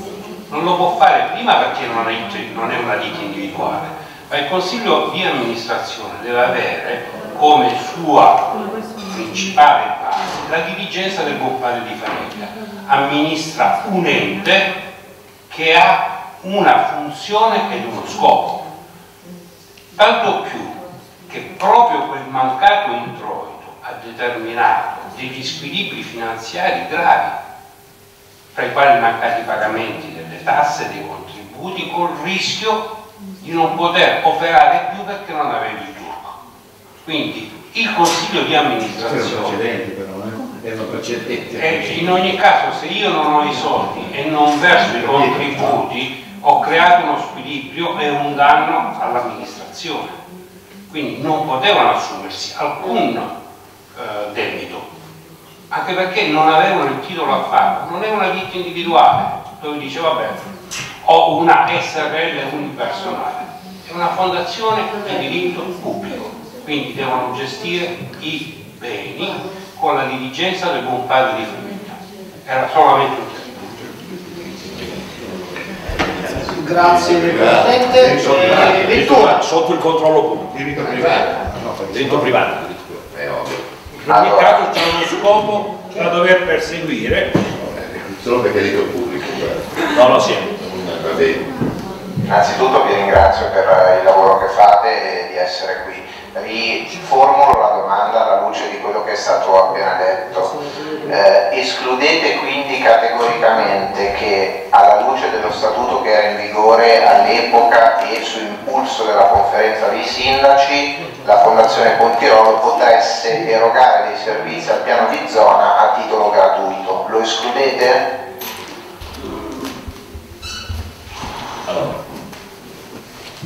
Attenzione, poteva, poteva Fondazione Pontirolo Onus, assumendosi la sua responsabilità, e mi riferisco al Consiglio di amministrazione, decidere di fornire servizi, come è previsto dallo Statuto però, ai comuni fondatori utilizzando le proprie rendite, per questo dice nello Statuto. Eh? A titolo gratuito io questa, questa facoltà non la intravedo, la decisione, la decisione di Fondazione Pontirolo Onus poteva essere quella di decidere di erogare servizi utilizzando fondi propri, quindi le proprie rendite, e questo fa parte dello statuto. In ogni caso, in ogni caso, non è questo il caso di analisi, perché non vi è, ripeto, leggendo le carte, una decisione o una valutazione di far svolgere servizi a Fondazione Pontirolo Onus a titolo gratuito. I fatti sono altri. I fatti è che esiste una documentazione cartacea che dice che c'è stato un percorso, una richiesta di, eh, non fa, di, non erogare i pagamenti del 2010, Se, adesso scusate se faccio un po' di confusione, ma mi pare che sia il 2010 l'anno in cui viene richiesto dal direttore amministrativo una, un, perché nel 2010 la prima decisione fu assunta dall'assemblea dei sindaci del distretto, dopodiché il direttore dice no, voglio che me lo dica la conferenza dei sindaci. La conferenza dei sindaci lo dice e assumono all'interno del bilancio di Fondazione Pontirolo Onus questa decisione dicendo solo nella relazione il mancato introito di 200.000 euro per l'anno 2010 produce la perdita di X, che non ricordo quanto fosse, nel bilancio 2010. Questo è quello che è accaduto. Non c'è stato un processo nel quale si è deciso o si è preteso che Fondazione Pontirolo svolgesse quei servizi gratuitamente. Qui la storia è un'altra. È un silenzio che dice che le cose erano così, perché altrimenti non ha senso. Non mette bilancio, se no. Tant'è che nel No, no, no, nella relazione dicono di aver subito la decisione, eh. lo dicono chiaramente. Se ne prendono le responsabilità. Devi finire così è seguito. Sì, sì, se ne prendono la responsabilità, il processo è quello di cui lei parlava, la mia era una domanda teorica, quindi volevo capire se escludete questa cosa. Mi ha risposto.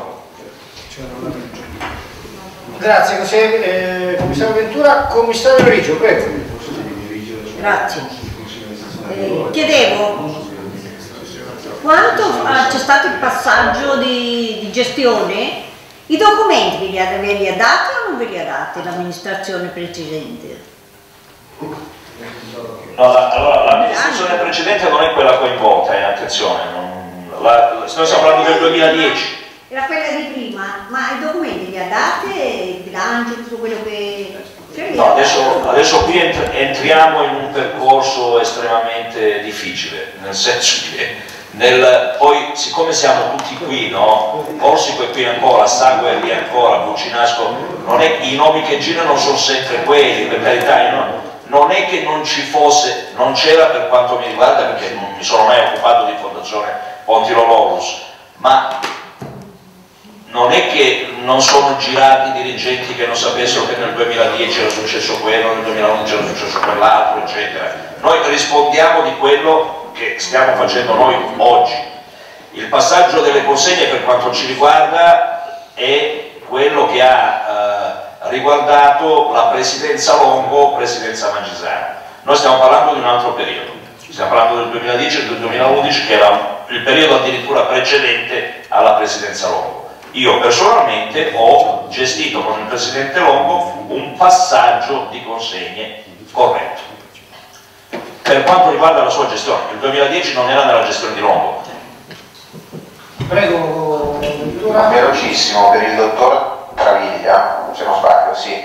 Lei sostanzialmente prima ha detto che ritiene, mi corregga se sbaglio, che il Consiglio di amministrazione non abbia di fatto eh, utilizzato la diligenza del buon padre di famiglia. Quindi eventualmente lei ritiene che ci siano responsabilità in capo al Consiglio di amministrazione per quello che è avvenuto? Eventualmente lo dovrà decidere un giudice, non lo posso dire io. Questo è chiaro, qual è la sua opinione in merito, se poi non me la vuole dare, eh, beh, chiaramente lo rispetto. Ribadisco ancora una volta, ci, voglia- ci vuole la diligenza del buon padre di famiglia in questo caso ritengo non ci sia stata. Grazie. Però è la mia opinione personale. Grazie, è chiaro, chiarissimo.